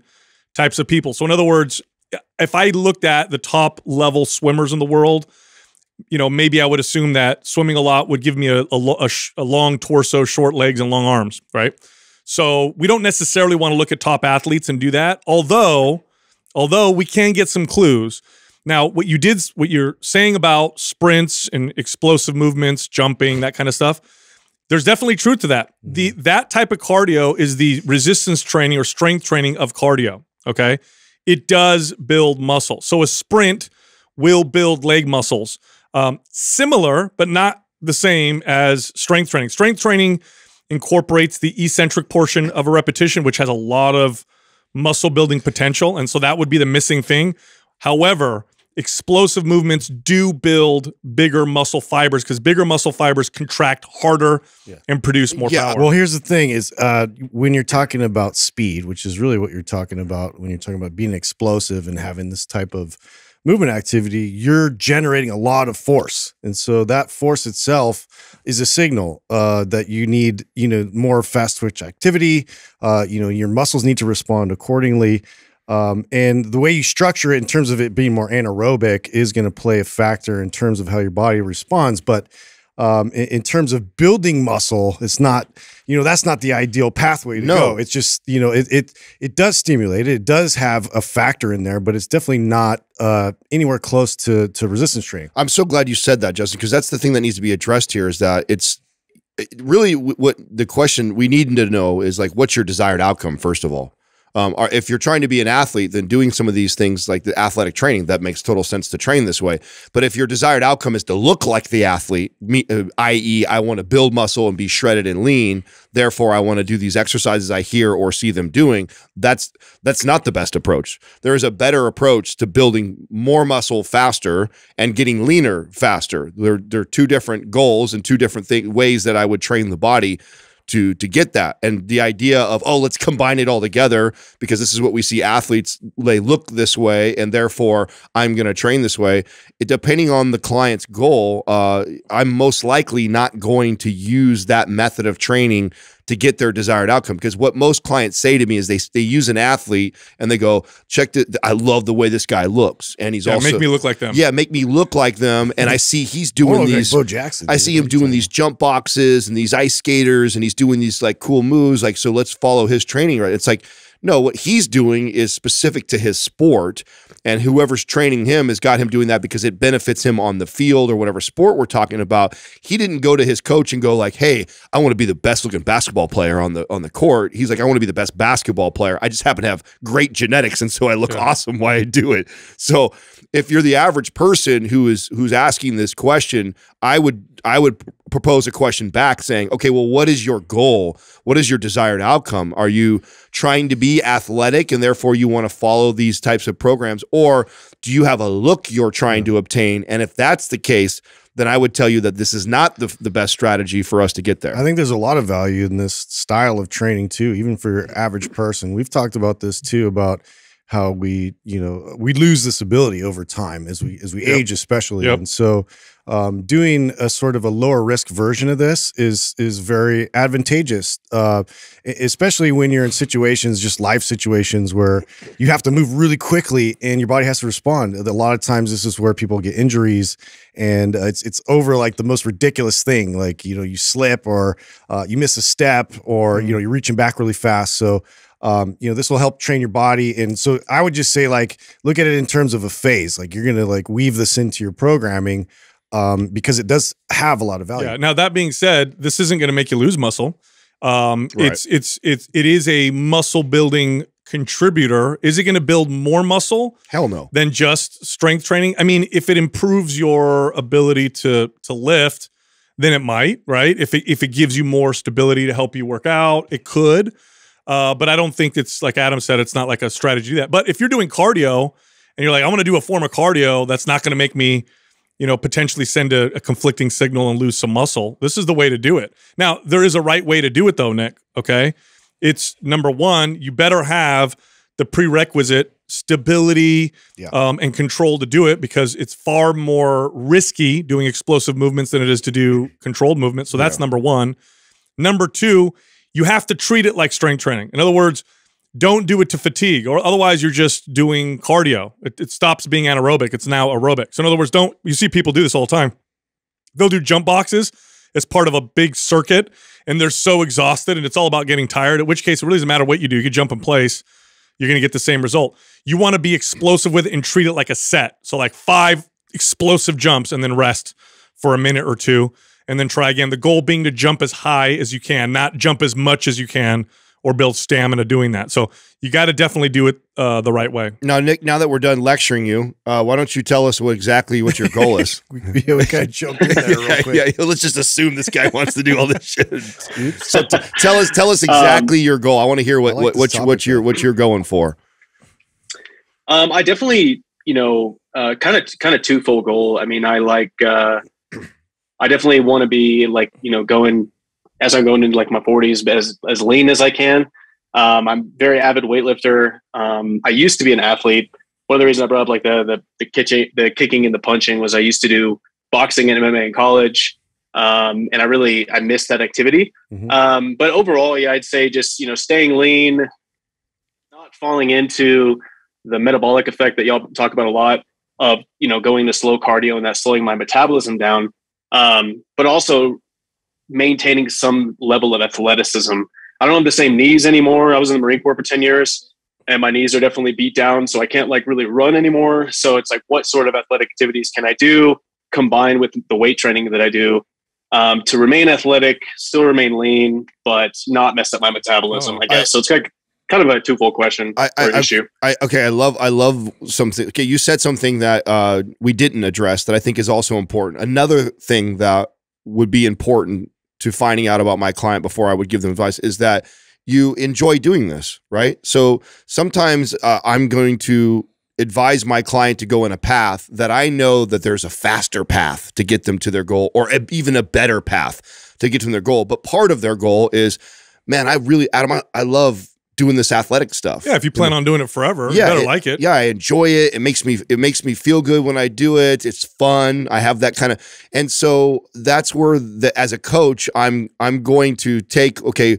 my my knowledge around you know building bodies and go okay yeah i know there's a better way or a faster way potentially to get this guy to where he wants to potentially look but he's also saying things like hey i, I really enjoy doing this and so to me i th- i think you're like a maps performance is a perfect programmer for you like maps performance is going to give you that the the athleticism that you're appealing that you, that appeals to you while also still strength training you and phasing you in and out kind of like what justin said so um, I absolutely, if you don't have that program, we'll send that to you because to me, that's based off of your goals. That is like the perfect program, and you're going to get Yep. a lot of the things that you're looking for, uh, you know, in that program. Yeah, we'll send that to you, Nick. I think that'll be perfect for you. And then when it comes to being lean, that's largely, largely a product of diet. Yep. I mean, the the, the muscle aspect, of course, makes a big uh, big impact. But you're already kind of doing the strength training. That's going to be diet. So I, I really, when it comes to exercising in a way to get lean, really what you want to do is exercise in a way to maintain a faster metabolism. And then the other half of that is just it's always going to be diet. So no matter what. So that's going to be the big the big factor here. Awesome, awesome. Thank, thank you so much, guys. I really appreciate the time. Huge fan. Um, I, I, you guys talk more about the metabolism than probably anyone else on on uh, these podcasts. So I really appreciate uh, the insight there. You got it, man. Appreciate you calling in. Thank you. Thanks, thanks, guys. Thank Take it easy. Take it easy.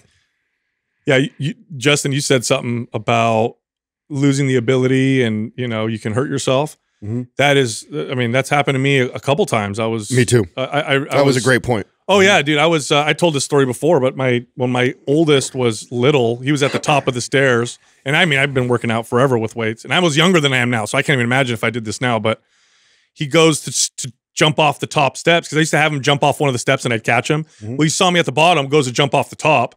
I grabbed the railing and launched myself up the stairs, and I ripped the railing off the wall, caught him, literally pulled every muscle on the left side of my body because of the Superhero dad moves. yeah, but it was the explosiveness, right? Because I have the strength, but I didn't ever train. I didn't train lots of explosive power, so my body didn't have the ability to really control or stabilize. So I ended up hurting, you know, half my body as- as a result. And it's true. Like you'll you'll Yeah. get fit and strong in the gym, you'll miss a step, go to step real fast. Oh, how did I hurt myself? I always work out. Well, Yeah. you, it's an ability. It's a skill. You got to train it. Yeah, I mean, you overcorrect at, at Yeah. that point if you're not familiar with those movements anymore. And it's just one of those things that, like, really quickly, like, you don't have that ability anymore. So to, to train it is definitely something that now, and I didn't really consider that until we had Joe DeFranco on. too. Yeah. I'm like, oh my God, what a great point. So, you know, that's definitely something that I've been, I've been noticing a lot too, you know, even with my parents and with everybody else, I'm like trying to get them to move fast every now and then just to maintain the ability. No, I mean, I I shared on the podcast a while back. It was almost a year ago, I think, when I jumped out of the back of my truck. You know, I have a lifted Chevy, and when I jump out, like it's something I've done probably a hundred times plus, and never thought twice about it. And I thought my knees were going to explode. Yeah. you know, and You because know, when you hit the ground hard, yeah, yeah. and and and really, what the awakening for me was, um, I had I never stopped consistently lifting weights and training, but what I had stopped is a lot of athletic training, a lot of explosive type of movements. Um, and th- that naturally just kind of wove its way into my my routine because I've always played sports, and this is the longest period of time in my life that I've gone without playing any sort of sports. Well, if I don't play any sports, I'm also not training to kind of prepare myself for that. So I've lost an ability that I just thought I would have. For, you know, I you know thought I would have forever. I know better. I should know better. I wouldn't have it forever. But like when I jumped out of that truck, I didn't think that I would feel that way. It's something I've done so many times. But it, it's you know if you don't if you don't train it, you'll lose it. The body will prune off that ability.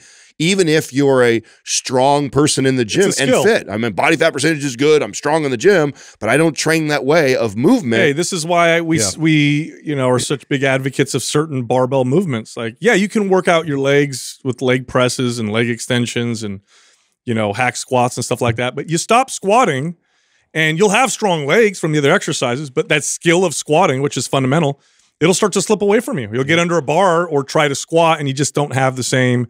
So you know, strength and, and it's all so much of it is a skill that you have to practice all these movements, not just have the muscles that contribute to the movements. That's the important thing to understand. Our next caller is Michelle from California. Hi, Michelle. How can we help you?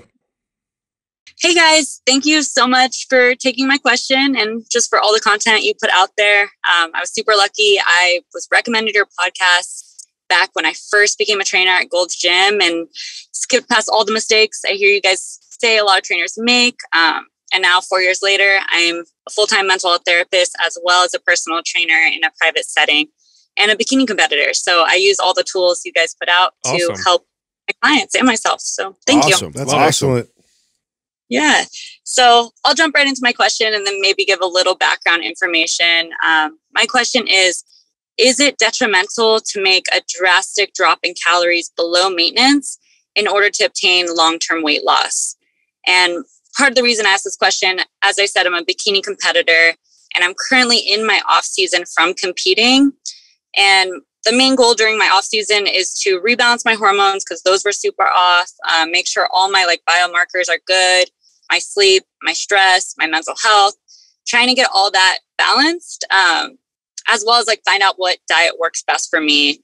And the thing is, I was at maybe 1100 calories, 90 minutes of cardio when I last stepped on stage, and I worked in a reverse all the way up to about 2700 calories with barely any cardio. Um, That's phenomenal. so, yeah, gained a lot of muscle, did, you know, ate a lot of food, gained a lot of muscle, and made some great progress. But as you guys know, summer's coming up. So I did still, even though I'm not competing, I still wanted to jump into a cut.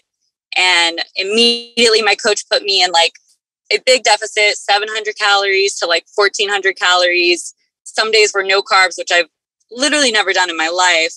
Um, so I'm just, I lost a lot of weight, obviously, but I'm just really terrified of the idea of like, okay, once I get, once I stop losing weight, like, what can we do? Like, how much lower am I going to have to go? How much like cardio will I have to do? Because I really don't want to stress if I'm not doing a show this year. Is he cycling you out of that cut? Like, are do you are you is that just a temporary thing, or is that like a permanent? Hey, for the next few weeks or months, we're going to do this. What's it look like? So at first, I thought it was like a one week, see where you're at, see how much weight you lose, and then we'll adjust from there.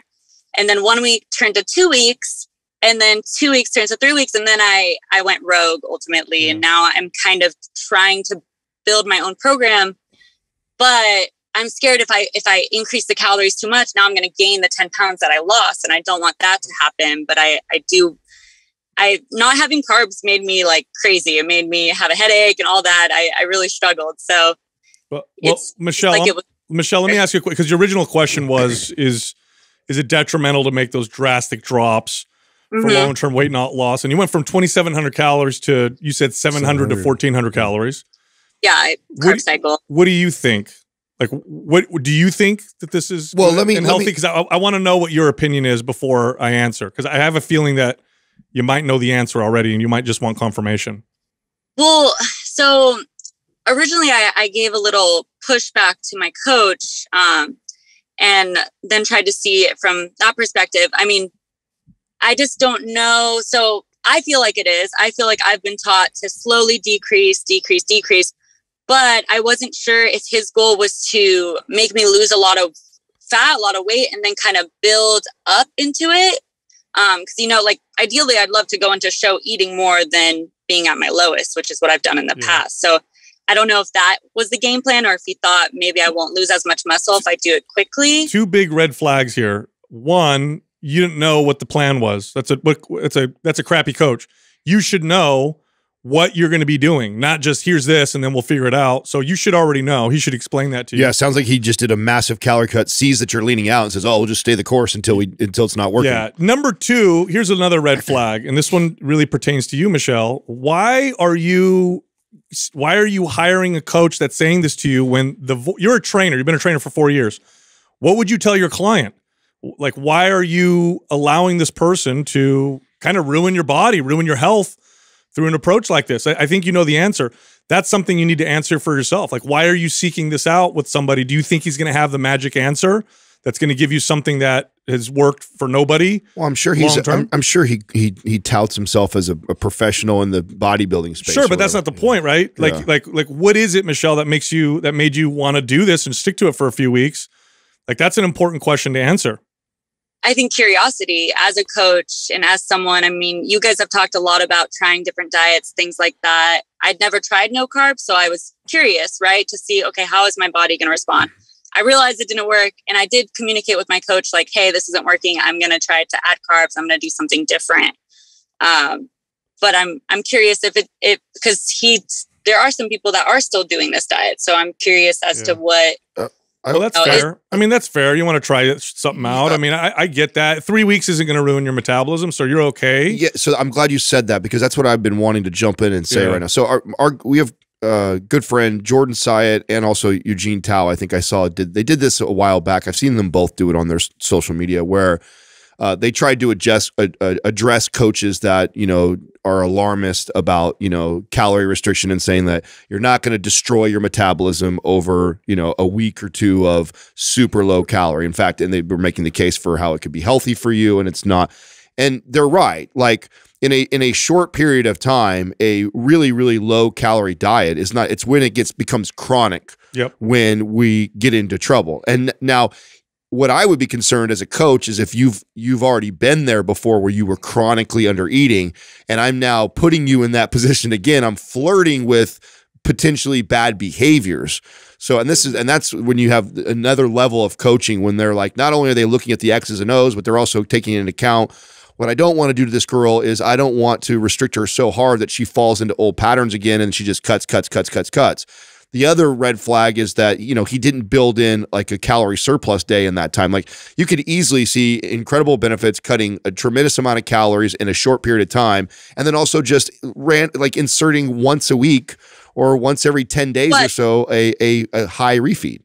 I did get a cheat. I get did get a cheat kind of day meal um, every week, which was different than I've ever done. Whenever I compete, I'd never get any cheat meal. So it was different where he would break up that calorie deficit. Well, how did he explain the cheat meal? What what is that? What do you mean by that? As it well, often, I mean, again, I'm not competing, so I wasn't as rigid, but it would be like, um, you know, eat 10 ounce steak with eight ounces of potato or something that was a lot higher in fat, carbs, protein okay. um, to just boost up. And the idea was to kind of um, re-engage my metabolism or kickstart my metabolism back so didn't get too adjusted to the low calories. How high? How high was he going? Because a, a, steak and potato is not like yeah, that's one meal. So like, what would that so, take your calories? To? Yeah, what would it take your cal this this cheat meal or slash day if you were restricting fourteen hundred calories a day? Let's say well, seven to four, seven hundred to fourteen hundred. Yeah, yeah, right. Seven hundred to fourteen hundred calories a day. What did the day when you decided to get or when you were allowed to get this cheat meal? What did that push you up to? It pushed me up to probably like 1800 or so. Mm. Eight, eight, eight, 1800 total calories when day. you were coming. Yeah, that's still a cut. You were coming, you were, you were just saying a couple weeks ago, you're 2,700. Uh, a, mm-hmm. a, a, surplus, I would take you back to maintenance surplus, which would be 27 to 2,900 calories for that one day.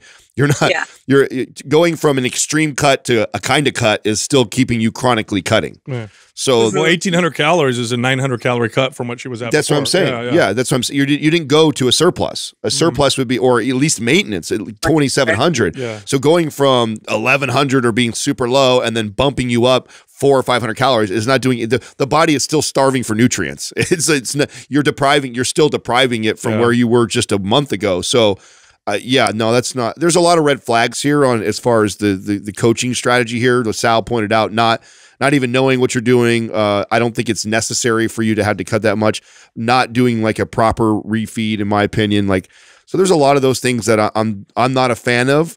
But I do want to mm-hmm. make clear that I don't want to I don't want to be alarmist uh, with this because I think what both Jordan Syatt and our friend Eugene Teo, the post that they did, I think it was a a good post when they shared this that you know, it is okay. I do this all the time where, you know, I've been eating in a surplus for a while. And I'm like, you know what? This week I'm just gonna I'm gonna eat real low calorie. I mean, you can oh. literally fast for seven days. Yeah, nothing. Yeah, and it's, it's, not gonna and it's not gonna fuck your metabolism. No, I mean, it, it, it, depends on the person, of course. If you're in yeah, like extreme, right? But matters. average, yeah, context matters. But for the average person, short period isn't isn't gonna isn't gonna cause that. Long term, it can definitely cause some issues. Now you're not competing anymore. What is your goal exactly? You have a specific goal? Like, are you trying to drop a, a certain percent body fat? Well, the idea, I mean, I, I plan on competing. I want to go on the national stage to try to get my pro card. Um, oh, okay. But I also, the feedback is always grow, grow, grow. So I want, I, so I built a lot of muscle and I, I want to know, I want to get lean enough to see where I'm at and see if I can go into a show or if I should get back into a bulk and build more muscle so that when I get on the pro, sure. on the well, stage, Sure. Well, hey, yeah. Michelle, a three week aggressive cut like you did, and then going back to to kind of a small, a short bulk. That's a great strategy, actually. That's yeah. A, that's a that's not a bad strategy. If it's only two or three weeks, and then you go back to you know to to a, a small bulk, that's not a bad strategy at minimizing fat gain or even losing some body fat and and, and then trying to build in that short bulk uh, period. So I I, I like that strategy. I don't Yeah. like the long term cut. Uh, you know, I, I get it before a show. I mean, when you're trying to get on stage, nothing that you do, especially the the, the few weeks leading to a show, is going to be healthy. So I get that, but right now you're just kind of trying to see for yourself. There's nothing wrong with the alternating approach where you kind of trend towards getting leaner, but you're giving your body definitely giving your body time to have more calories and more nutrients and you know kind of preserving some of the muscle that you've built. Yeah, I think there was an episode that I listened to that Adam had actually kind of suggested something like that. Mhm. And it was when I was just starting this, and it was like three, I think it was like, yeah, three days of super of deficit and then three days of um, a more maintenance or above maintenance calorie range. And the thing is I've I've been in this kind of deficit and then going up and kind of going back and forth and I've maintained a lot of muscle. I mean, I think I wrote down that I I just hit a PR for four or five for my glute bridges. Like I'm surprised that my strength is not going down. My strength is going up Awesome. while still in this deficit. Awesome. Yeah, no, that- I mean that's a good sign. Yeah, that, that that's definitely a good sign. So, but I would keep those short. I would, especially now. Now, when you get into show prep, that's a little different. Uh, but for something like this, you've already done three weeks. I would go back to maintenance for a couple. If your old goal is ultimately to get leaner, then you want the cuts to be a little longer than the bulks, right? Um, so I would go like three week cut, maybe a two week, one and a half to two week, you know, maintenance or slight bulk, and then go back to a three week type cut until you. And it'll, it'll take you longer to get there, but it's not going to cause uh, problems. But also, you know, pay attention. You sound like you're pretty put together. Just pay attention to the behaviors that that might encourage. It's it's not you know that up and down with the food. If you find yourself feeling restrictive and then bingy, um, then go back to something more consistent because that's going to be most important. That's what's going to stick to you past these competitions. You know, Yeah, yeah. I'm a mental health therapist. Uh, first right. and foremost, That's mental health is always number one, um, especially when it comes to food habits and living. Excellent. Yeah, you get it. Yeah, you get it. You get it. No, perfect. Michelle, is there any program we can give you? Can we give you something to follow? Um, I mean, I have almost all of them. The only one I don't have is PED, but I don't know if that's Probably not what you need. Yeah. Um, Did you get the new one already? Did you get symmetry? yeah, we yeah we got it. Awesome. Uh, oh, okay, good deal. got the symmetry and, and the two ebooks it came with. So, Well, Oh, if you stop deal. by, we'll give you a hug. Well, I was gonna say about the forum. Would I be able to join that? Yeah, Yeah, yeah. we'll let you in for sure. Yeah. And Yeah, in fact, have- by the way, we have we have quite a few uh, competitors in there, and a lot of people that have coached themselves. Some people that are not. Some people I've actually coached are in there. So yeah, there's a great com- community in there around the com- it's a competition. So make sure you get in there and introduce yourself. Yeah, that would be so helpful. Awesome. We'll Yeah. see you in there then. Thanks for calling in, Michelle. So much. Yeah, I mean, I'm glad you said that, Adam. I mean, three weeks, right? It's not going to do. I mean, you could literally, you could literally fast for a week, like Yeah. eat nothing, Mhm. and of course, you got to be healthy and all that stuff, and it's not going to have this, this crazy, you know, detrimental effect on your metabolism. But you follow a super low calorie calorie diet plus lots of exercise for two months, three months, four months. Yeah. Now that adaptation starts to It's happen. really the behaviors and the trends you, you Yeah. gotta watch with that. Yeah, the temporary approach, you, you know, you can rebound from that pretty good. It actually benefits you. Well, in yeah, some sense. cases. yeah. especially when it, it, it's consistently for months and the direction you're always going is Yes. less Yes. and less and less and less like it- without any sort of interruption of hey how about for a week we run to a maintenance Mhm. surplus and i think it's as simple as that but i think you hit it on the head like there's l- several red flags here with just his approach the fact that he's not sharing what the plan is already is Right. Well, I mean, a lot of these coaches, it's just You need clarity. You need that up front. Well, it's these, they hit the same button every time. They do. Oh, you want to hire me? Here we go. Boom, low calorie. Boom, extra workouts. yeah and then they and they Oh, it they- stopped working. Lower calorie, extra they- workouts. and they ride that train Totally. as long as they can. Yeah. It sounds exactly what he's doing is just like, I'm just going to cut her calories. Oh, she's still seeing results. She's still strong. Keep Yeah. pushing it. yeah. Just keep pushing More it. More cardio, Yeah. It's just, lower eating. it's terrible. Our next caller is Zach from Maryland. Zach, what's happening? How can we help you? Hey guys, really appreciate you having me on and just want to start by thanking you for all of the great information that you're putting out there. Um, yeah, when I was first trying to lose a bunch of weight, I, I got all caught up in the, the trendy fads. So you guys got me right on, on the right track with fitness. So Cool. uh, just Awesome. really can't thank you enough. Awesome. Um, yeah, so yeah, for context, I'm a former college football player. Um, I played O line, and I've lost a bunch of weight since since I finished playing. And um, you know, undergone significant body recomposition by following the MAPS programs. Uh, so I followed the RGB bundle, and I'm currently in phase three of aesthetic. Um, and so this is my first time in you know really 10 plus years of lifting that I'm focusing primarily on on getting a pump is sort of the the main adaptation. Um, yeah, I've sort of gotten it before. I'm familiar with it, but this has never been the, the main focus. So um, my question is that I'm finding that I can find I can lift greater weights um, with the higher reps prescribed in the, the supersets in phase three with good form. Uh, but it kind of takes away from the feel of the muscles. And if I lift lighter weights, um, you know, I can really you know focus on that mind muscle connection and and squeeze the muscles more uh, over the same number of reps and, and, kind of increase the the feel of the pump that I'm getting. Um, so you know, my thought is that I probably should do the the latter and focus on the feel of the muscles, but just want to you know make making that lightweight feel as heavy as possible and, and do more with it.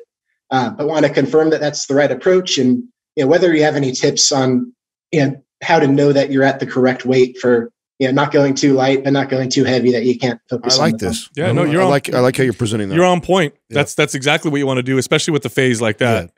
When you're doing low rep training, focus for yeah, sure. yes. I mean, when you're doing low rep training, you know, you're doing like five reps, uh, and you're doing compound lifts. It's about the movement. It's about movement efficiency, maximizing leverage. Right. When you're doing the higher reps, bodybuilder style training, it's all about the feel, and you're better off for the most part. Now, I, I know I'm talking to somebody who used to play college football, right? You, you in, in your question, you, you wrote down that you played college football before you, so you were a high level athlete. You probably pretty strong, or you have at least the propensity for tremendous strength.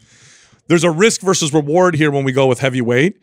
The reward with going heavier can be more muscle growth, but it depends on who I'm talking to. Someone like you, you're better off making the weight feel heavier than adding weight to the bar. You're going to get, you're still going to build muscle, but you're going to reduce the risk of injury with the higher, uh, with the heavier weight. So you're better off with the feel, especially with the phase three of MAPS aesthetic. So you're you're on point. When I train this way, if I feel like I can add five pounds or ten pounds to the bar, all I do is I try to make the the set harder myself so I don't have to add weight. I get way better results that way. I guarantee this is a novel stimulus for you. Uh, knowing, yeah, knowing like what the training used to look like for football. Um, this is this is the perfect uh, opportunity for you to really focus in on a completely different approach to weight training. And so you're you're right on point in terms of like really trying to mind muscle connection is is where you want to live and and really I, I think one of the things that I found myself as as far as like always trying to intensify everything um, because of the type of workouts I used to do forever. Um, you know, this is this is one of those things like don't go super fast, like really feel it. Like Yeah. you know, you know, uh, slow yourself down because like because it's high reps and because it's lighter weight. A lot of times people tend to like rush their way through it uh, in terms of like the way that I used to approach it. So I, I think that that's one thing. Like you're already on point in terms of of how you're looking at it. So I just want to reiterate that. Yeah, I don't have much to contribute to that. I think that uh, other than I think great self awareness, I think that um, men tend to have a tendency to uh, put more weight on the bar than they should. especially if you played college football. Yeah, especially if just, you yeah. have an athletic background. So the fact that you've got the awareness that you probably have that tendency and you probably should lighten the load and focus on squeeze, I think is great, man. I think I think more people, uh, especially men, uh, need to do that. I think it's really, and I'm I'm as guilty of of the same thing. You get in the gym, you start feeling good, you know, grabbing you know ten or fifteen more pounds add to it because I can. You know, I, I get let that get in the way sometimes, and I know that I should focus on the squeeze and the form and the technique. You're going to get just as much, if not more, out of it, plus uh, without the as much risk. So, yeah, no, I think uh, I think you got the the right the right attitude, and I think you're going to continue to see great results. Zach, you did maps anabolic, maps performance, and now you're finishing maps aesthetic, right? Yep, yep. I'm planning to go to symmetry next. This the uh, slowing these reps down has made me notice some uh, imbalances. So Do you have to- do you have work through that. or can I send that to you? I, I do have symmetry. Okay, all right, Awesome, all right. Well, you uh, you almost got it for free. I know. I, I should have waited. no, no worries. Uh, what about? Do you have anything for correctional stuff like Maps Prime, like a, a Prime Pro? Do you have that? Not yet. Prime Okay. Pro, I, I definitely am interested in. Let me send that to you because I think that'll that no matter what program you do, what you'll find in Maps Prime Pro is going to help you out, especially an ex athlete like yourself, there's going to be certain muscle imbalances or movement issues that you're going to start to identify, especially when you go through map symmetry. And Prime Pro is a is a beautiful addition. That's awesome. Really, really appreciate that. No problem, man. Thanks for calling in. Thank you. Keep it up, man.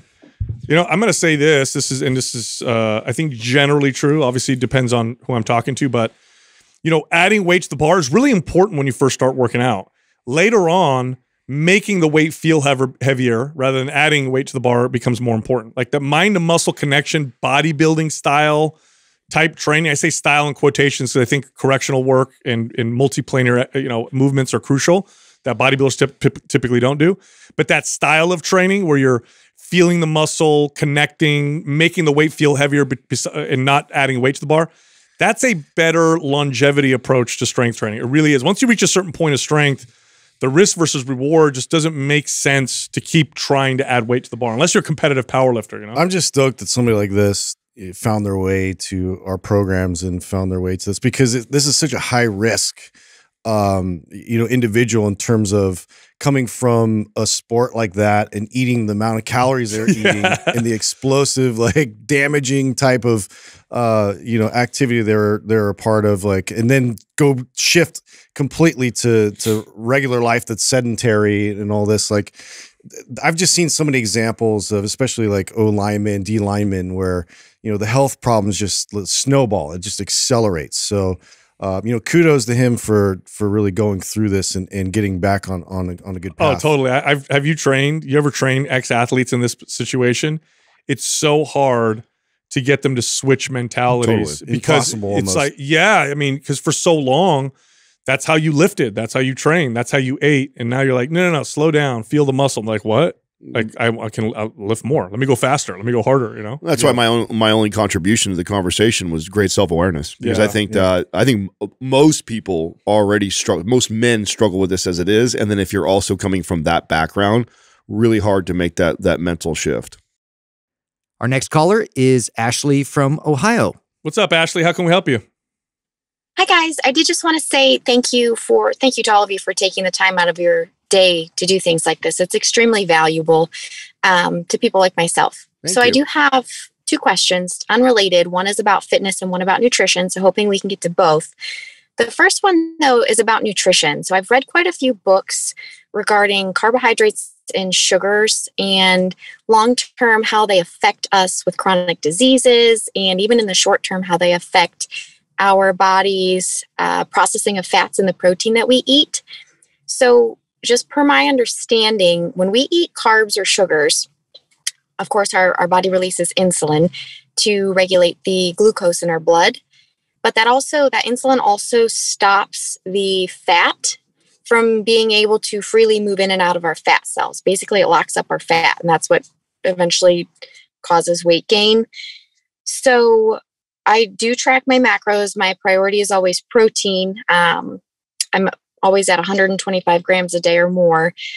And I do stick to a very low carbohydrate diet, not quite keto, but I try to stay under 100 grams a day. Um, sometimes it's more like 50 or 60 grams a day, and I feel fine with that. But I, I just, I don't understand, I guess, based on all the information that I've read, the things that I've learned.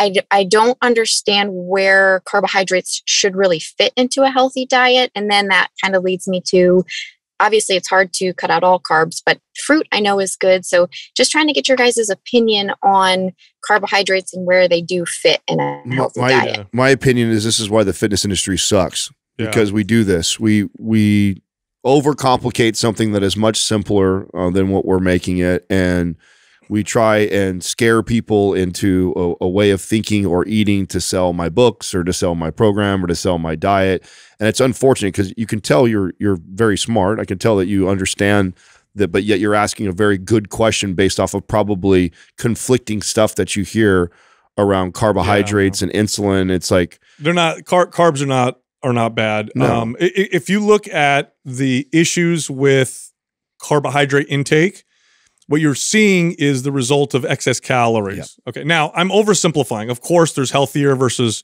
less healthy foods. This is true for fats and proteins as well as, as carbohydrates. But generally speaking, if you look at like the obesity epidemic, and they've done this, right? They'll be like, oh, it's because we're consuming more fat. That's what happened in the 80s and 90s. They're like, oh, no, no, it's actually carbs. No, what it is is we're eating more of everything. Our calories have gone up significantly. Really, what what correlates strongest to the obesity epidemic and inflammation and disease is heavily processed foods, and heavily processed foods are just engineered to make us eat eat more. So the more of our diets that are made up of heavily processed foods, the more calories we eat, and then that becomes the issue. Sugar, carbohydrates, proteins, and fats don't have lots of negative effects when the calories are appropriate. When the calories are high, sugars become a problem, certain fats become a problem, even too many proteins can become a problem when the calories are are too high. So that's generally what's happening. Okay. Now, uh, to take it a step further, if you look at the studies on longevity, you'll find societies where their diets are predominantly or, or a majority of their calories come from carbohydrates and they live a very long time. So this is just, it's just not true. Now, are carbs essential? No, they're not essential but that doesn't mean that they that eating them is isn't better or going to make you feel better. Some people feel better on lower carbs, other people feel better on higher carbohydrates. This is where individualism or individual, you know, uh, you know, body physiology kind of plays a role, or even psychology. Some people enjoy them more than others, but no, that's not the issue. Now, a, a lot of times people cut carbs and they feel a lot better, and they're like, "Wow, this is great. What's going on?" Heavily processed foods tend to be carb heavy. Mm-hmm. So what tends to happen when people cut carbohydrates is they tend to eliminate a lot of the heavily processed foods. Like try to think of heavily processed foods in boxes and wrappers that are fat or protein dominant, right? For protein dominant, what are you gonna get? Jerky? Like that's that's that's a it's a processed food, but it's it's the least, yeah, it's not or hot dogs, I guess. Probably not great either, yeah. but most heavily processed foods are kind of carb heavy. So it's a result of of that. So I wouldn't worry about carbohydrates. Gary Taubes is he he he definitely can be an alarmist with yeah. certain things.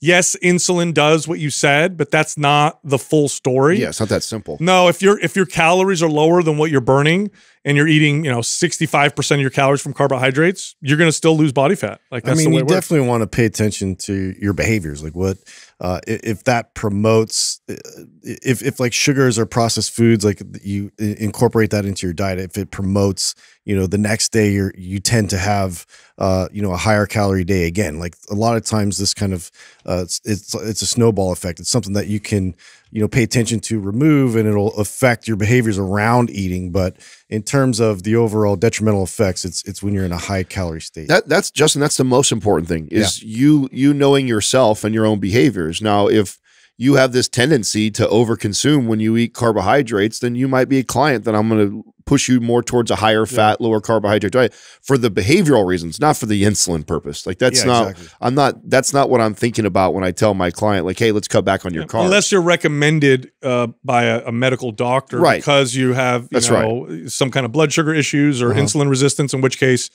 you know, that might be the case. But if you're otherwise healthy, uh, it, no, it doesn't do that. And again, what they're doing is they're looking at what they're doing is they're looking at carbohydrate intake and obesity and inflammation.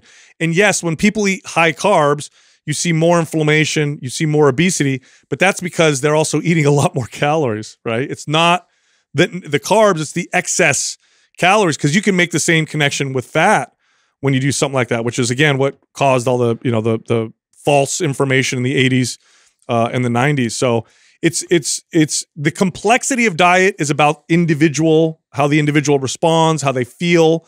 But the simplicity generally speaking really has more to do with calories. Are you getting essential nutrients? Um, and uh, are you overeating or undereating? Really that's really what it boils down to. Okay and that was sort of i guess you know his books definitely make me feel like um, all carbohydrates are just the devil and you shouldn't eat them which is why you know I've, I've come to you guys asking because i have cut out you know the the very heavily refined carbohydrates the processed sugars because they they aren't satisfying to me and it does have for me it gives me a, a tendency to eat more of them than yeah. that i would eat mm-hmm. of protein or a fat source um, and those are easy to cut out and I, it honestly makes me feel better but good. it was mainly more like when it comes to your vegetables and your fruits the things that i enjoy that i know are still good for you um, just wanted a little, I guess, reassurance that if those are things that fit into my um, calorie and macro count for the day, that those are, are they're not going to throw me way off track. Good, good. And then you had a, did you have a fitness question as well? You said. Yeah. So it actually uh, just any fitness program, but I've been really looking at your guys' programs. Um, I race motocross, ride my dirt bike quite a bit. All right. Um, obviously for training. Cool. So whenever I and I've been working out consistently for about three years. Um, whenever I have a program, I never know, or I'm looking at a program, I never know how to fit it around my racing and riding schedule. So my goals are obviously strength, um, endurance, and I do have aesthetic goals, goals as well. Um, it feels good to look great.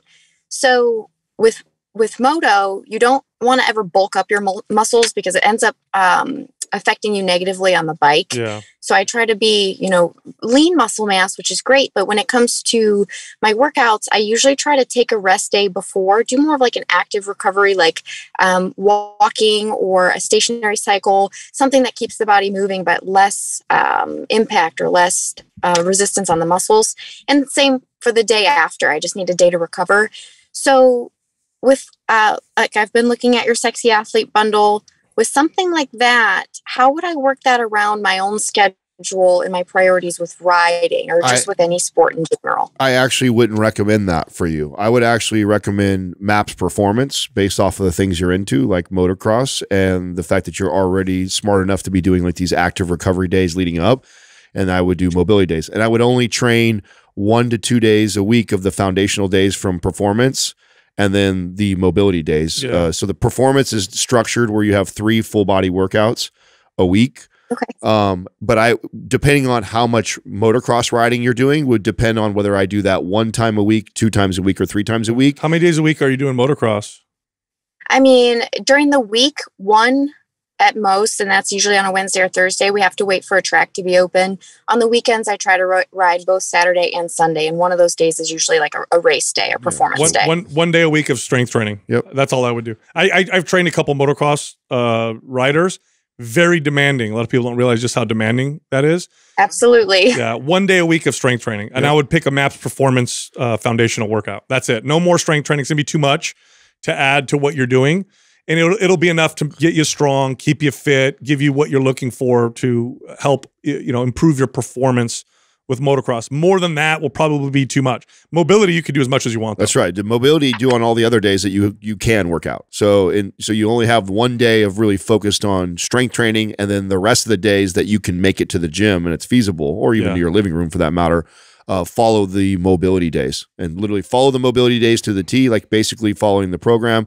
The only difference on how we would modify the program is like Sal saying, instead of doing three foundational days a week, you would just do one a week. Now, because you're doing, you said Wednesday, Saturday, Sunday for motocross. Yeah, and obviously the weather affects it. If it's raining and we can't ride, I might only get to ride on the weekend or something like that. But yes, generally. The the day that I would do the strength training would probably be Thursday. So I know you want to have a day before and after, but that's kind of impossible to do with Wednesday and then Saturday and Sunday. I would go Thursday and then uh, you know Monday, Tuesday mobility because you're coming off two days of motocross. Uh, Friday mobility and then Saturday, Sunday you do your motocross. So Thursday would be the day I would do the strength training. Um, and again, pick that workout for Maps Performance. Okay. And then let's say, you know, like I mentioned, it, it rains and I don't get to ride during the week. Is it okay to do two days of Yep. the Yep. Yep, and that's how I would decide that is based off exactly that. Is if this is a week where you didn't ride as much, go ahead and do another foundational Totally. day. And you again, listen to your body, right? So you you will have uh, you will know better than even we know. We're kind of guessing that will be good for you, but if uh, you go to two and you actually still feel really sore in your riding or you feel like it's hindering your workout, then Mhm. back off to one. If you're doing one and you're feeling great and you want to try two and you still feel great doing two, then go two.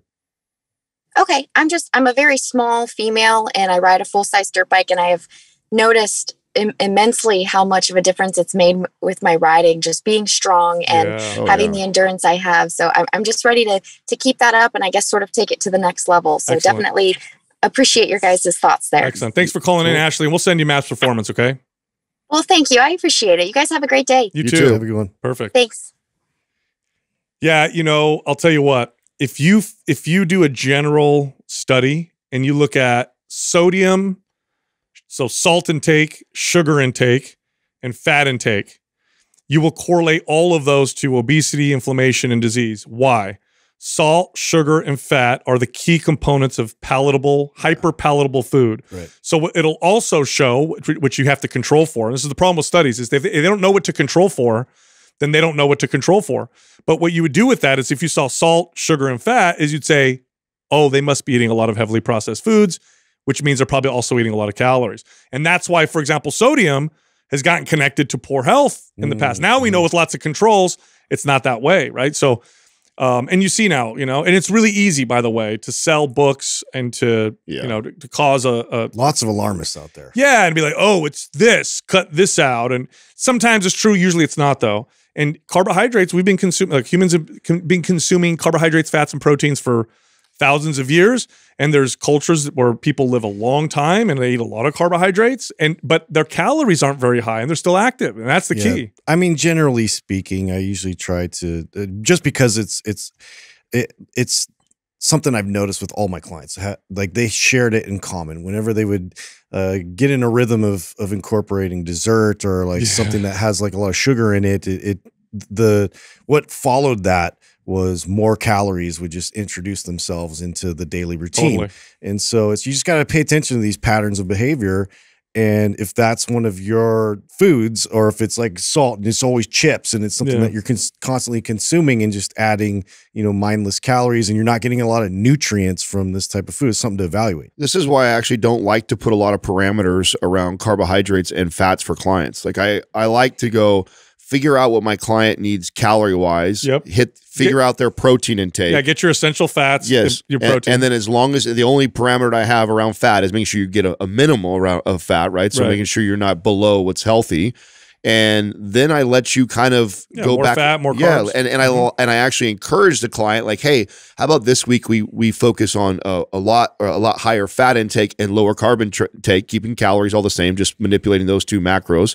And then next week, let's do the reverse of that. Totally. And then assessing how did you feel? How did you like it? Was it easy to follow? Was it easy to make the meals? And then I'm taking that information and based off of their feedback and what they're what they're telling me, uh, that's how I'm going to manipulate whether we're going to run a more carb heavy diet or a more high uh, fat diet. And I think to me that is the the better approach with with someone or a client like this. Yeah, no, exactly. I do the exact same thing. And you know, with myself, it has it revolves a lot around gut health. I if my gut health is not that great, lower Mhm. carbohydrates tends to work better. Mhm. But if my gut health is great, higher carbohydrates I get better performance. I get better strength. That's me personally, right? So I 100% How same did you know? How did you know she was talking about Gary Taubes? It's in her. It's on the notes. It's Oh, her- I was like, damn, how did you, Yeah. you guys nailed that? I'm like, how did you know that? I, didn't hear, I didn't hear her say it.